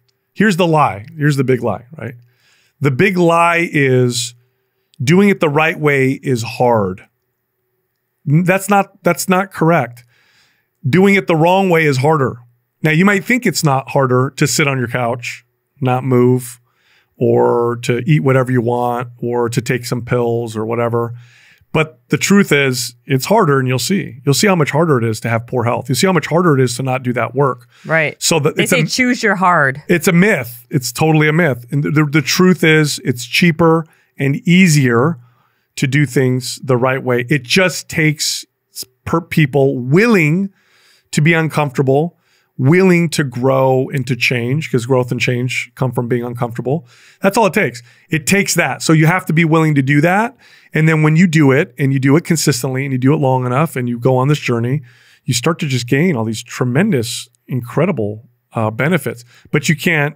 I mean, I think people just they want to believe in the lies because they don't want to take that step. They also want to take the responsibility. I think it's it's, you know, it's like I could somebody could sit there and say, "Wow, it's my fault. It's my fault that I'm unhealthy," or they can be like, "It's not my fault. It's my genetics," or "I just am not taking the right supplement," or "Oh, it's this thing that I'm not doing. I got to go do this." You know, shine this light on me, and that'll make it happen. That'll make it. That'll that will like lean me out. It'll improve my metabolism. Yeah. What do you think of? Um, how much of it you think is genetics? How much of it? How much can you trick your baseline? So when you think of genetics, think of it this way think of a wide range of potential. Okay. So, like from let's say zero to a 100. Your lifestyle determines where you fall on that scale. Your genetics determine where that scale is. So, like LeBron James, okay? Let's say uh, uh, for basketball skill, the scale is uh, zero to a thousand, okay? He was probably born with like 700 to a thousand was his range, and mine's somewhere like 100 to 300. I was gonna okay? say ten. right? Or maybe whatever, right? Well, I can get as good as 300 with hard work and effort, and he can be as bad as 500 or whatever with doing no work and no effort. So, yes, you have your genetics, but you also have this range that you can work within, and that's what your lifestyle does, uh, you know, helps determine. Now, my question to people who ask that is, who cares? What are you going to do now? Okay, you got your genetics. Uh, mean that you can't be super ripped or you're not going to be the strongest or the fastest person. Okay. Like that's what you got. Yeah. What are you gonna do now? Right. That's what. That's the. That's the cards that were dealt to you. Yeah. How are you gonna? How are you gonna play the, that? Play that hand That's as it. best you can. That's it. Now it's up to you. Now you got your potential. Go work with your potential. And I'm gonna tell you something right now. Hard work, discipline, effort, and growth. It, it usually trumps genetics and talent. Okay. And I'm not talking about the extremes. Yes, there's people who are like so talented, it's ridiculous. But I know way more super talented losers than uh, you know. I know a lot of those people, and I know people who are like not very talented, but through growth, effort, and work, made a lot out of themselves. Yeah, you sound like me. This is literally my book, by the way. I say that all the time. That I I, know so many super smart dumbasses out there who are doing nothing. Yeah. And I know a bunch of dumbos who are like living the high life, having the best time, being super successful, and, and have everything they ever wanted. You know what I mean? Like I don't believe I don't believe that you should just like fall on that as your excuse for life of like why this is this is why. No, you know? it's a shitty way to live, man. It's a it's a it's a sad, shitty way to live. And and you know, look, y- again, your choices are accept what you can't change and focus on what you can't, or dwell on the stuff that you can't change. That's a prison. Why would you want to be stuck there? Look, you know, read books on POWs or people who've been through some really challenging things. Read, you know, uh, there's some really, really good stuff out there, and you'll read age old philosophies on this. Stoicism talks about this um, as well. It's like it- it's like even if even if the result were the same, even if the end result were the same versus with person A who focuses on the stuff that they can't change versus person B who focuses on what they can't change. The person who focuses on what they can change will feel different and better because they feel like they have some autonomy, like they have some control. So regardless across the board, it's a better choice. Now, I don't believe they'll end up in the same place at all. I think we have so much evidence to show that if you focus on the things that you you can change and ignore the stuff that you can't, you're going to turn out much better. The evidence is clear on that, but even if it wasn't, it's like you're going to feel you're just going to feel much better. So, and that's the, that's the, that's the road to success in anything. It's definitely the road to success in fitness. I could tell you right now, meeting with someone, if someone's going to have the right attitude for long term fitness success versus failure, and it's the difference between the person who comes to me is like, everybody's overweight in my family. There's nothing I can do. It's my genetics. I just like food too much. This sucks. I hate exercise.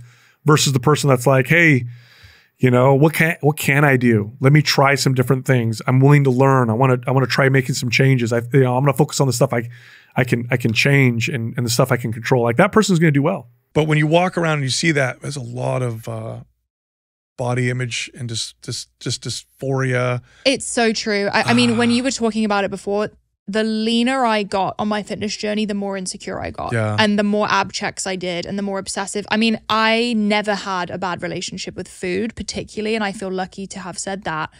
But the worst my relationship ever was with food was at the peak of my fitness journey when I had a six pack and I felt really good about myself, quote unquote.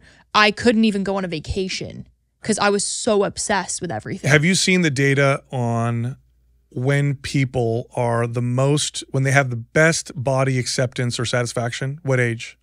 Ooh, 25? When they're in their 60s. No. That just goes to show you how much of it is uh, how you actually look versus how you actually think about yourself and care about yourself. When people have the greatest body acceptance is right around then. It is not. That's actually the worst. In the 20s is when people have the worst Wow. Body acceptance. You know what's crazy? I just had Mark and Carrie Sisson on from Primal uh, Kitchen, Okay. 68 and 70, Yeah. like glowing, feeling themselves. They were Yeah. like, we're having the best sex we've ever had. And I was like, whoa, okay. Yeah, yeah. But like, that's pretty cool. And that Yeah. adds some perspective, I feel like. It does, and I, you know, what we've done in, um, in our marketing spaces and our media, is we've taken signs of vitality and attractiveness, and we've amplified them so much and distorted them so much that we believe those to be like the be all end all. And so, for example, um, you know, you could look at like, like a muscular body. Okay, let's talk about a man, right? So wide shoulders, small waist, muscular body that shows healthy testosterone. It shows mobility. It shows functionality. But then we take it to the extreme, and you could be a 280 pound shredded bodybuilder, which most women would look at and go, "Oh, that's a little, that's a little excessive, right?" What's attractive is health. Healthy is attractive. By the way, media. When I'm looking at a picture, I don't see the person's personality. I don't feel their vibe. I don't see anything else but how they look. I don't need to say this, but you've we've all met people, and you meet them and they're attractive. Why are they attractive?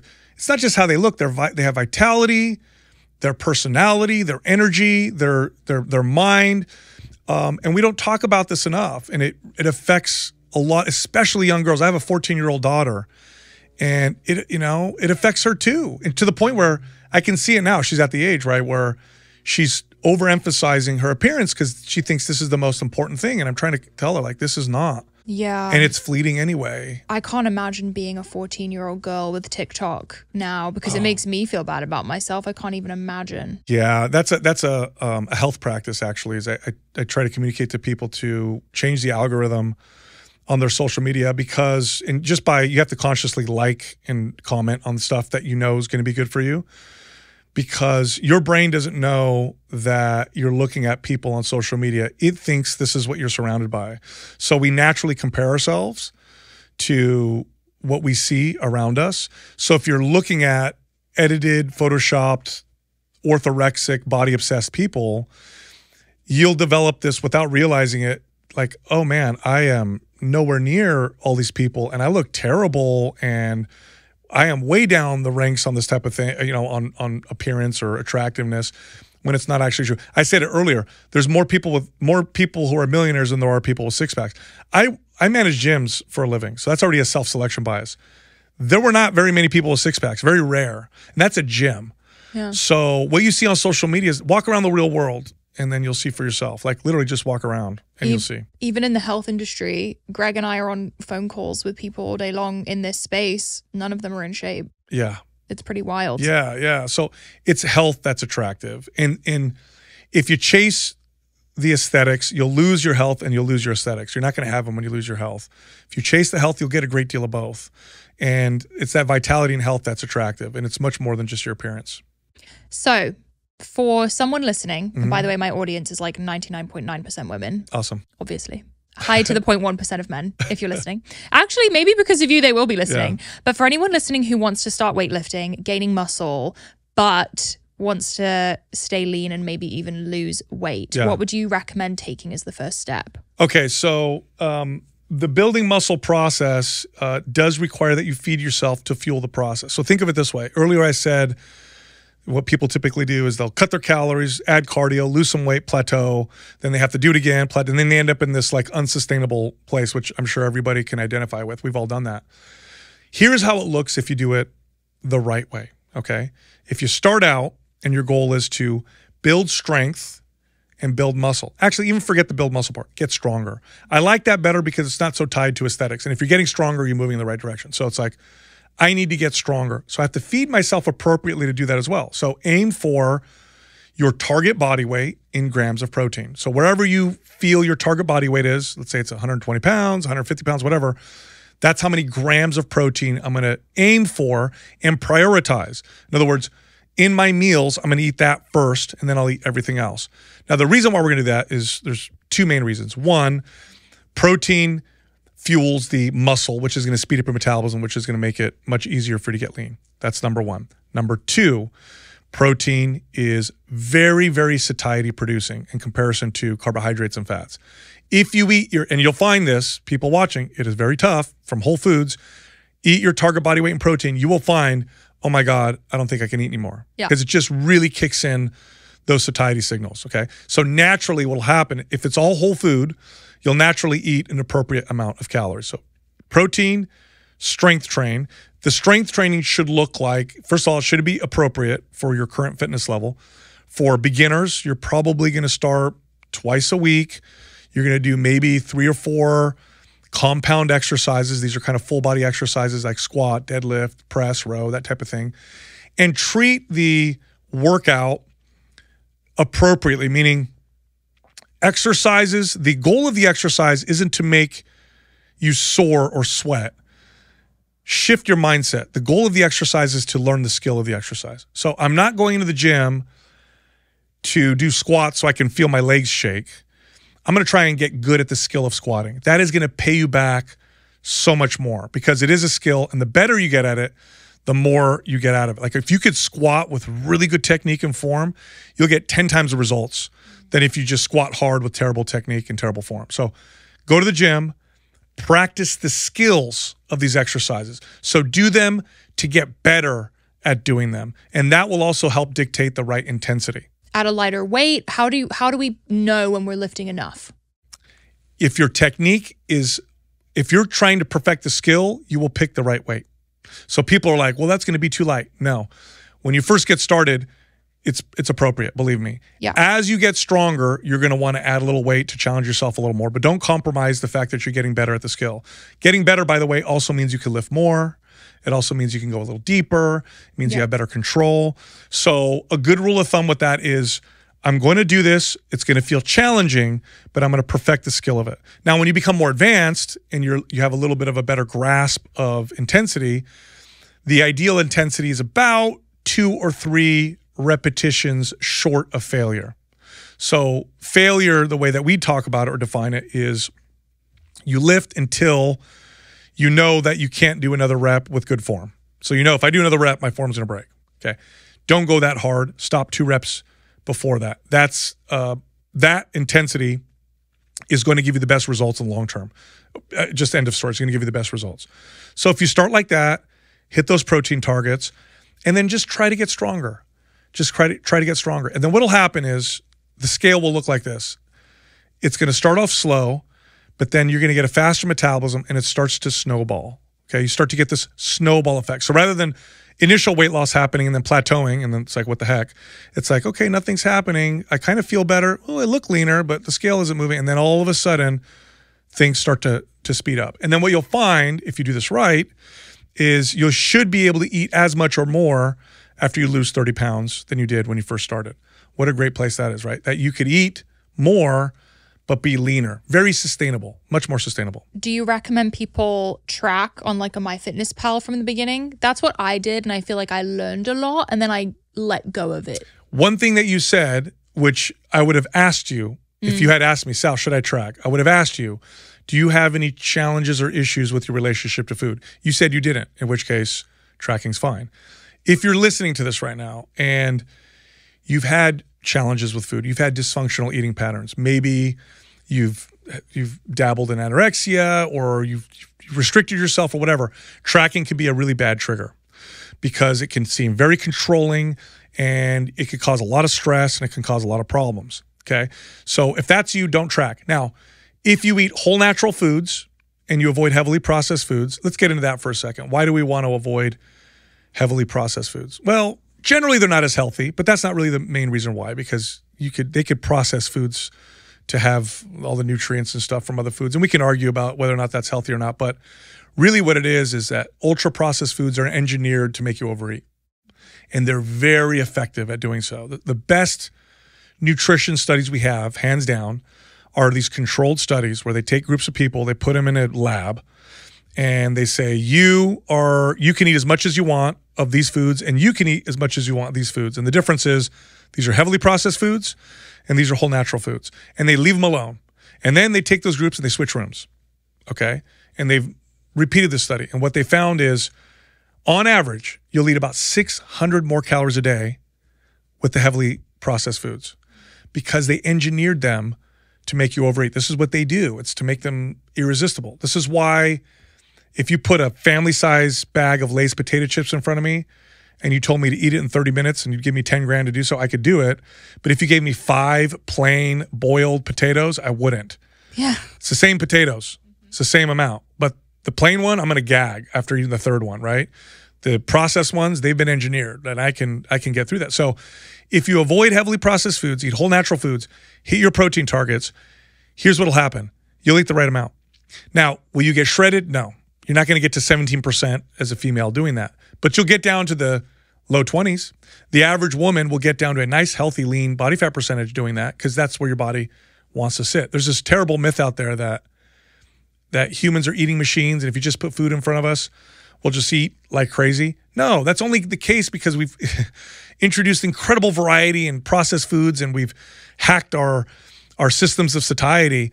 But if you put, you know, you go hunt and you kill an animal and you're like, all right, everybody eat as much as you want, people would eat the appropriate amount because it's a, it's a whole natural food. If you do this, then you won't need to track. But that being said, is there value in tracking? Yes, because it is an awareness tool. Tracking it teaches people what's in food, how many grams of proteins, how many grams of carbs, how do I feel when I eat more carbs, how do I feel when I eat more fats, how do I feel when I eat this kind of thing or that kind of thing, and when, when my calories are higher in the day versus lower in the, you know lower in the day. It is an awareness tool, but if it's a trigger for you, I'd say don't go for it. Do what I said earlier, and you'll be just fine.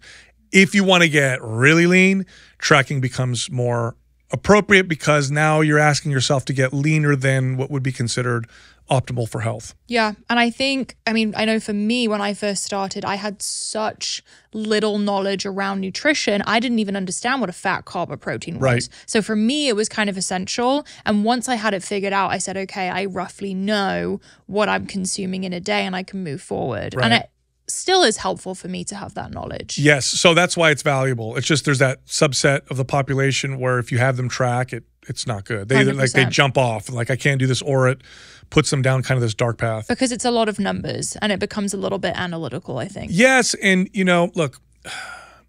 All right, let's let's talk about how what what what it looks like to have a good healthy relationship with food. So any skill that you learn, you have to go through uh, four stages of learning. And they, they they go like this: there's unconscious incompetence, there's conscious incompetence, there's conscious competence, and then there's unconscious competence. So what does this look like? Okay.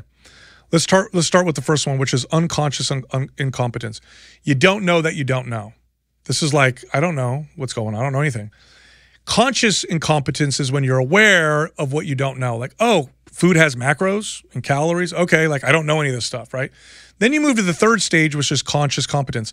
I'm tracking, I'm counting, I'm paying attention. You don't want to live there though, because that can become very hyper focused and stressful. You want to move to the fourth stage, which is unconscious competence, where I eat healthy, feels very natural, it's not stressful. So think of it like a child learning how to walk. A kid doesn't know how to walk, they're probably not even aware of what that is. Then they try to start walking. Then they figure out real quick they don't know how to walk. Then they're consciously competent. You watch a toddler walk. I have I have two young kids, and one of them, my my youngest is one year old, right? So we're soon we're gonna get to this process of her trying to walk. You watch a toddler walk, they have to think about every step because they have to consciously be competent. Well, at some point, you you know, do you think about every step when you walk or every breath you take? Like that would be very stressful, right? Yeah. Hopefully, I didn't make your audience all of a sudden aware of their breathing. now I'm weird. overthinking everything. Yeah, but but that's so that's what happens. That's how tracking should be used, right? So Yeah. tracking is that competent competent stage where you're competently comp, uh, you know conscious of it or conscious of your competence, but then you should move into this kind of it's natural. Like Yeah. I eat healthy because I'm caring for myself. This feels good. I need more of this, or I'm enjoying myself so now I can enjoy these foods, and it's this this this harmonious like not stressful state of being. How do you recommend people figure out their maintenance calories and where to move from there? The only accurate way to do it that I know of is to track. Uh, so the way I would have clients do is I'd say track your calories now. Don't change your eating. Don't change any of your eating habits. Just track. Write them down and track them. After two weeks, get your average. And unless you were gaining or losing a lot of weight in that period of time, which you shouldn't have if you were just eating like you normally would, then that's roughly what your maintenance is at. And then you can move from there. The calorie estimating websites are very general and they could be very, very off, uh, especially if you have like a strength training female. Um, I mean, I've had female clients that were tiny strength training. They did a lot of strength training. They were eating like 2,800 calories a day, but the calorie counters would tell them to do, you know, something closer to like 16 or 1,700 calories. So it could be very off. You could also have through repeated cycles of extreme dieting and, and cardio, you could have really hammered your metabolism to the point where you're not burning very many calories at all, in which case you would want to reverse diet. What I did, I've done a reverse diet. Yeah. It was a little bit of a mental struggle, Of course. but uh, it was helpful. At the beginning of my fitness journey, I tracked, figured out my maintenance. I cut back very slowly, which is what I've always recommended. I've always said, you know, cut back as little as possible so you have room. Is that what you recommend as well? Totally, because mostly, there's other reasons too, but mostly for the, we, we have to remember that we're not machines, we're behavior based creatures. Okay. So, too much of a change all at once, the likelihood of it being sustainable is far less. So, and food is a part of who we are. So, we don't just eat for fuel. I know people in my space like to say that, but that's such, so stupid. We eat for a lot of different reasons. We eat to celebrate, we eat because we're stressed, or we're sad, we eat for enjoyment. So all of a sudden, cutting your calories drastically, uh, like you're changing a big part of your life. And if you think that that drastic, tough change is going to stick around, like you're, you're fooling yourself. So small changes are just are just much more effective for sustainability. What would you say is like a reasonable amount of weight to be losing per week? Well, they're going to say that the most, in terms of pure body fat, that you would that if you're doing everything right and you're doing it in a sustainable way. By the way, I want to say this: it's not fast or slow. People think what I'm saying is the slow way. There's a faster way, but it's the wrong way. No, no, no. It's not fast or slow. It's yes or no. The, the fast way, you will not get what you want and you won't stay where you want. The data is 100% clear on this. 90% of people who lose weight gain it back. We don't have a weight loss problem. We have a keep the weight off problem. Okay. So what I'm saying isn't the slow way, it's the only way. Okay. Okay. So if you do everything right, you can expect about one to two pounds of body fat a week if you do everything right. Now, do most people experience that? No, because there's a lot more than just weight loss that's happening. There's learning about how I feel, and, and this is important to pay attention to. How's my energy? How's my skin? How's my mood? How's my sleep? Am I stronger? Uh, do I feel as my libido healthy? Like, pay attention to all those things because those are all signal you that you're doing the right thing, and then the, the fat loss will happen. Yeah, there's so many other factors than the scale when You- it comes to weight loss. You know what's funny? So I trained people for years. This used to shock, shock me, but people would come in and they'd be working out, and I'd tell them, "Look, I'm, we're not going to try for any weight loss for the first couple months. I'm going to speed up your metabolism, get you stronger." And they so so they'd come in and they'd be like, "Okay, I want to lose weight. I want to lose weight. I'm not losing any yet, but I understand you said that." And I'd say, "Well, you know, how's your sleep been?" And they'll say, "Oh, that's weird. It's funny you say that. I've been sleeping so good." Like, okay, that's great. And how's your energy been? That's interesting. You know, I- I'm drinking one cup of coffee less a day than I normally do. You know, how's your mood? Oh, I feel so much more upbeat. They're not even paying attention to those things, so it doesn't even register because they're so hyper focused on the scale. So it's very important to take note of all the other positive effects that improving your health will bring. And improving your health will improve every aspect of your life, everything. There isn't a single thing that it won't touch. So pay attention to those things because when the scale isn't moving, it's going to help you stay on the right track. And it'll also paint a much fuller, complete picture of what's going on. Also, weight loss doesn't keep happening. At some point, you're going to stop losing weight.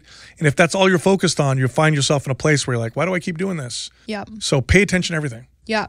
My audience listening knows what an impact health and fitness had on my life. I wouldn't have a podcast, a business. It taught me everything I know about work ethic. Like it truly, truly changed everything for me.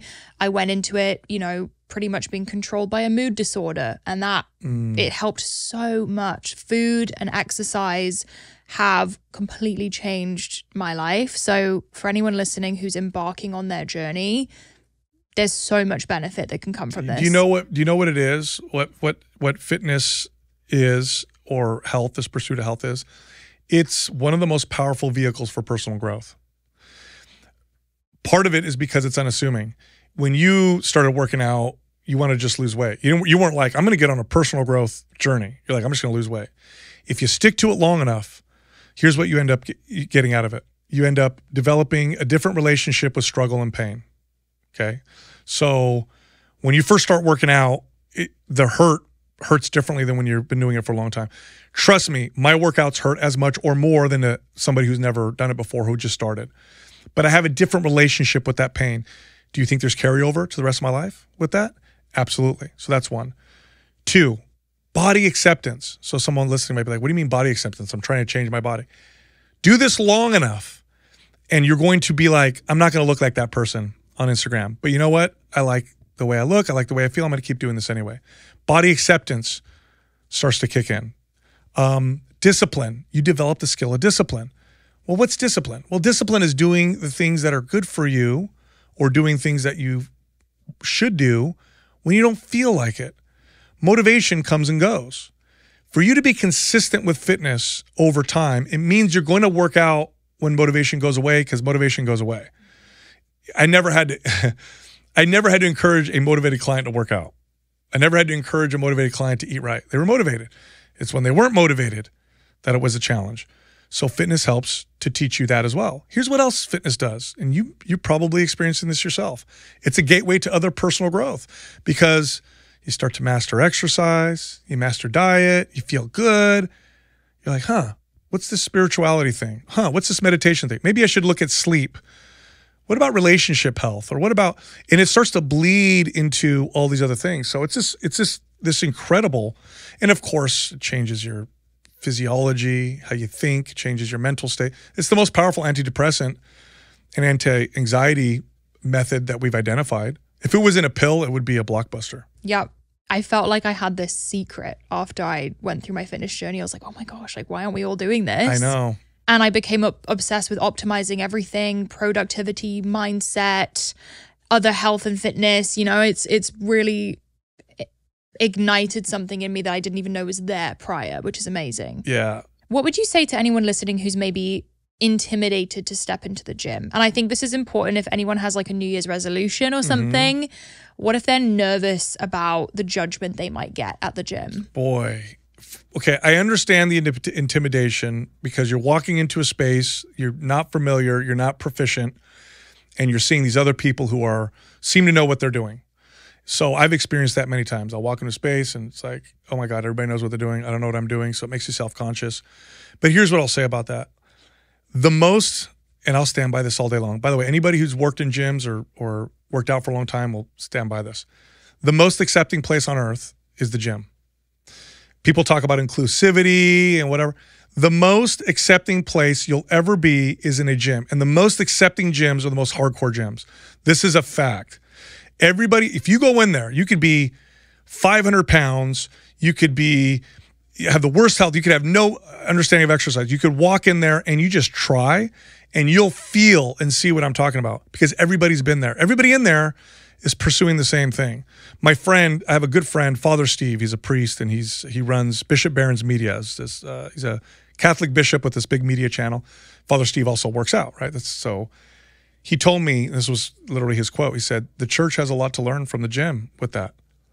He says it's the most because. He's like you walk in, nobody cares who you vote for, what you look like, none of that stuff. You're you're in here, you're trying, and everybody's like, "Yes, let's do this." And test this out. Go to a hardcore gym. Go tap on the scariest person that you see in there and say, "Hey, I'm, I, it's my first time. I don't know how to do this." And watch what happens. They'll automatically become your free trainer. It's such an incredible environment. Now, I get the whole intimidation because of the, you know, you don't know what you're doing or whatever. That's why I say go in there and practice these exercises like skills. There's lots of resources. I sell fitness programs that outline out what you do. I have a, a YouTube channel that where we demonstrate exercises. It's free, so you can watch those. But you'll see. And and once you figure that out, it's like, oh my gosh, this is the best place. I was just telling a story about, you know, I go to Gold's Gym Venice. Oh, yeah. And I had a girlfriend start coming with me and she was like, I don't know, it's pretty intimidating. Like there's huge guys in there. Yeah. And I was like, I promise you, the biggest guys are the nicest. Yes. And now they hype us up. They're like, is that a new PR? Oh my oh, gosh, yeah. I saw you benching the other day. It really is such an encouraging place. And I've been there too when I first started. I was super insecure to walk into a gym because I felt like I was overweight, I didn't fit in, I didn't know what was going on.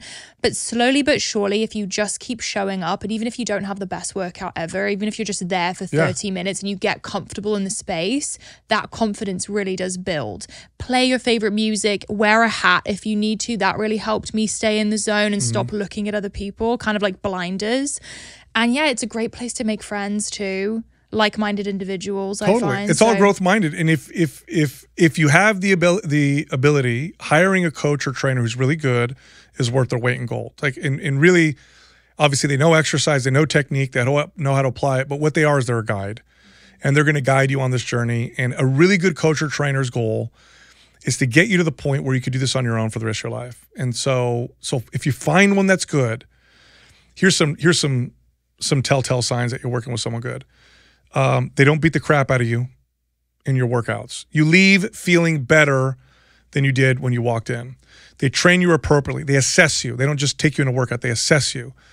They answer a lot of questions with the answer, it depends, because it's very nuanced. Is this the best diet? It depends. Is this the best exercise? Well, it depends. That's how you know you probably have a good trainer. They're worth their weight in gold if you can find one. Even if you work with them once a week or once every other week, they will really help you. And there's online coaches that are less expensive. They're not going to be able to train you in person, but really, really good ones will help you uh, so much. But yeah, go in there. It's funny, you know, when I when I first started, I started in the gym business in 90, 1997, so it's a long time ago. And in the in the first gym I worked in, they had a women's only area. And I remember, you know, after the gym closed one night, I went in there and I was hilarious because it was the same equipment. It was just pink. And I hmm. remember I remember thinking like how silly is this or whatever. Anyway, you know, in that gym, eventually they remodeled it, had this big weight area. And at that time, you know, you're talking the late 90s, w- women were not in the free weight area. Almost never. I mean, it was rare. And I remember there was this woman, I signed her up. I talked to her about this. She was in her mid 40s. She was super intimidated. But I said, no. And she didn't have the money to afford a trainer. So I said, here's a few exercises. I said, just go in the corner, do your thing. So she was like one of the only women in there she worked at. And she quickly, like all the big like bros in there, whatever, she was like, they, they, they were like protecting her, showing her what to do, helping her out. And she's like, I did not expect this at all. I'm like, I'm telling you, it's the best place. Wow, Yeah. that's so cute. I love that. Yeah. And now I think it's awesome seeing the spike in women who are interested Huge. in weightlifting. It's incredible. huge. In fact, uh, gyms now are taking space away from other, uh, like from cardio equipment and other things, and, and putting it towards uh, Hip thrust machines. Yes. By the way, we're we're we're really in this revolution of uh, of strength training because and, and women are driving this. Women are very powerful consumers. So now that women are starting to adopt it, um, the fitness industry is really starting to to pay attention. But now we have really good data to show that it's its benefits on fat loss, on sculpting, on hormone balancing. Dr. Gabrielle Lyon, I don't know if you've had her on. I need to. She just wrote a great book uh, about this and how the obesity dem- epidemic really is about the being under muscled uh, epidemic. So I think we're starting to see this wonderful swing that I, I couldn't be happier to see. All right, I know you liked that episode. If you did, check this one out 30% body fat. For men, this is way too high. This is actually a bit high for women as well. So in today's episode, we're talking about how you can go from 30 to 10. What is 10% body fat? This is when you have a visible six pack. Can you go from 30 to 10%? Yes, it's possible, but not if you guess along the way. So we're going to talk about how you can do that in today's episode. Now there's a huge range, right, of like body types. Yes. Some people can run uh, a little bit heavier uh, and or a little bit higher body.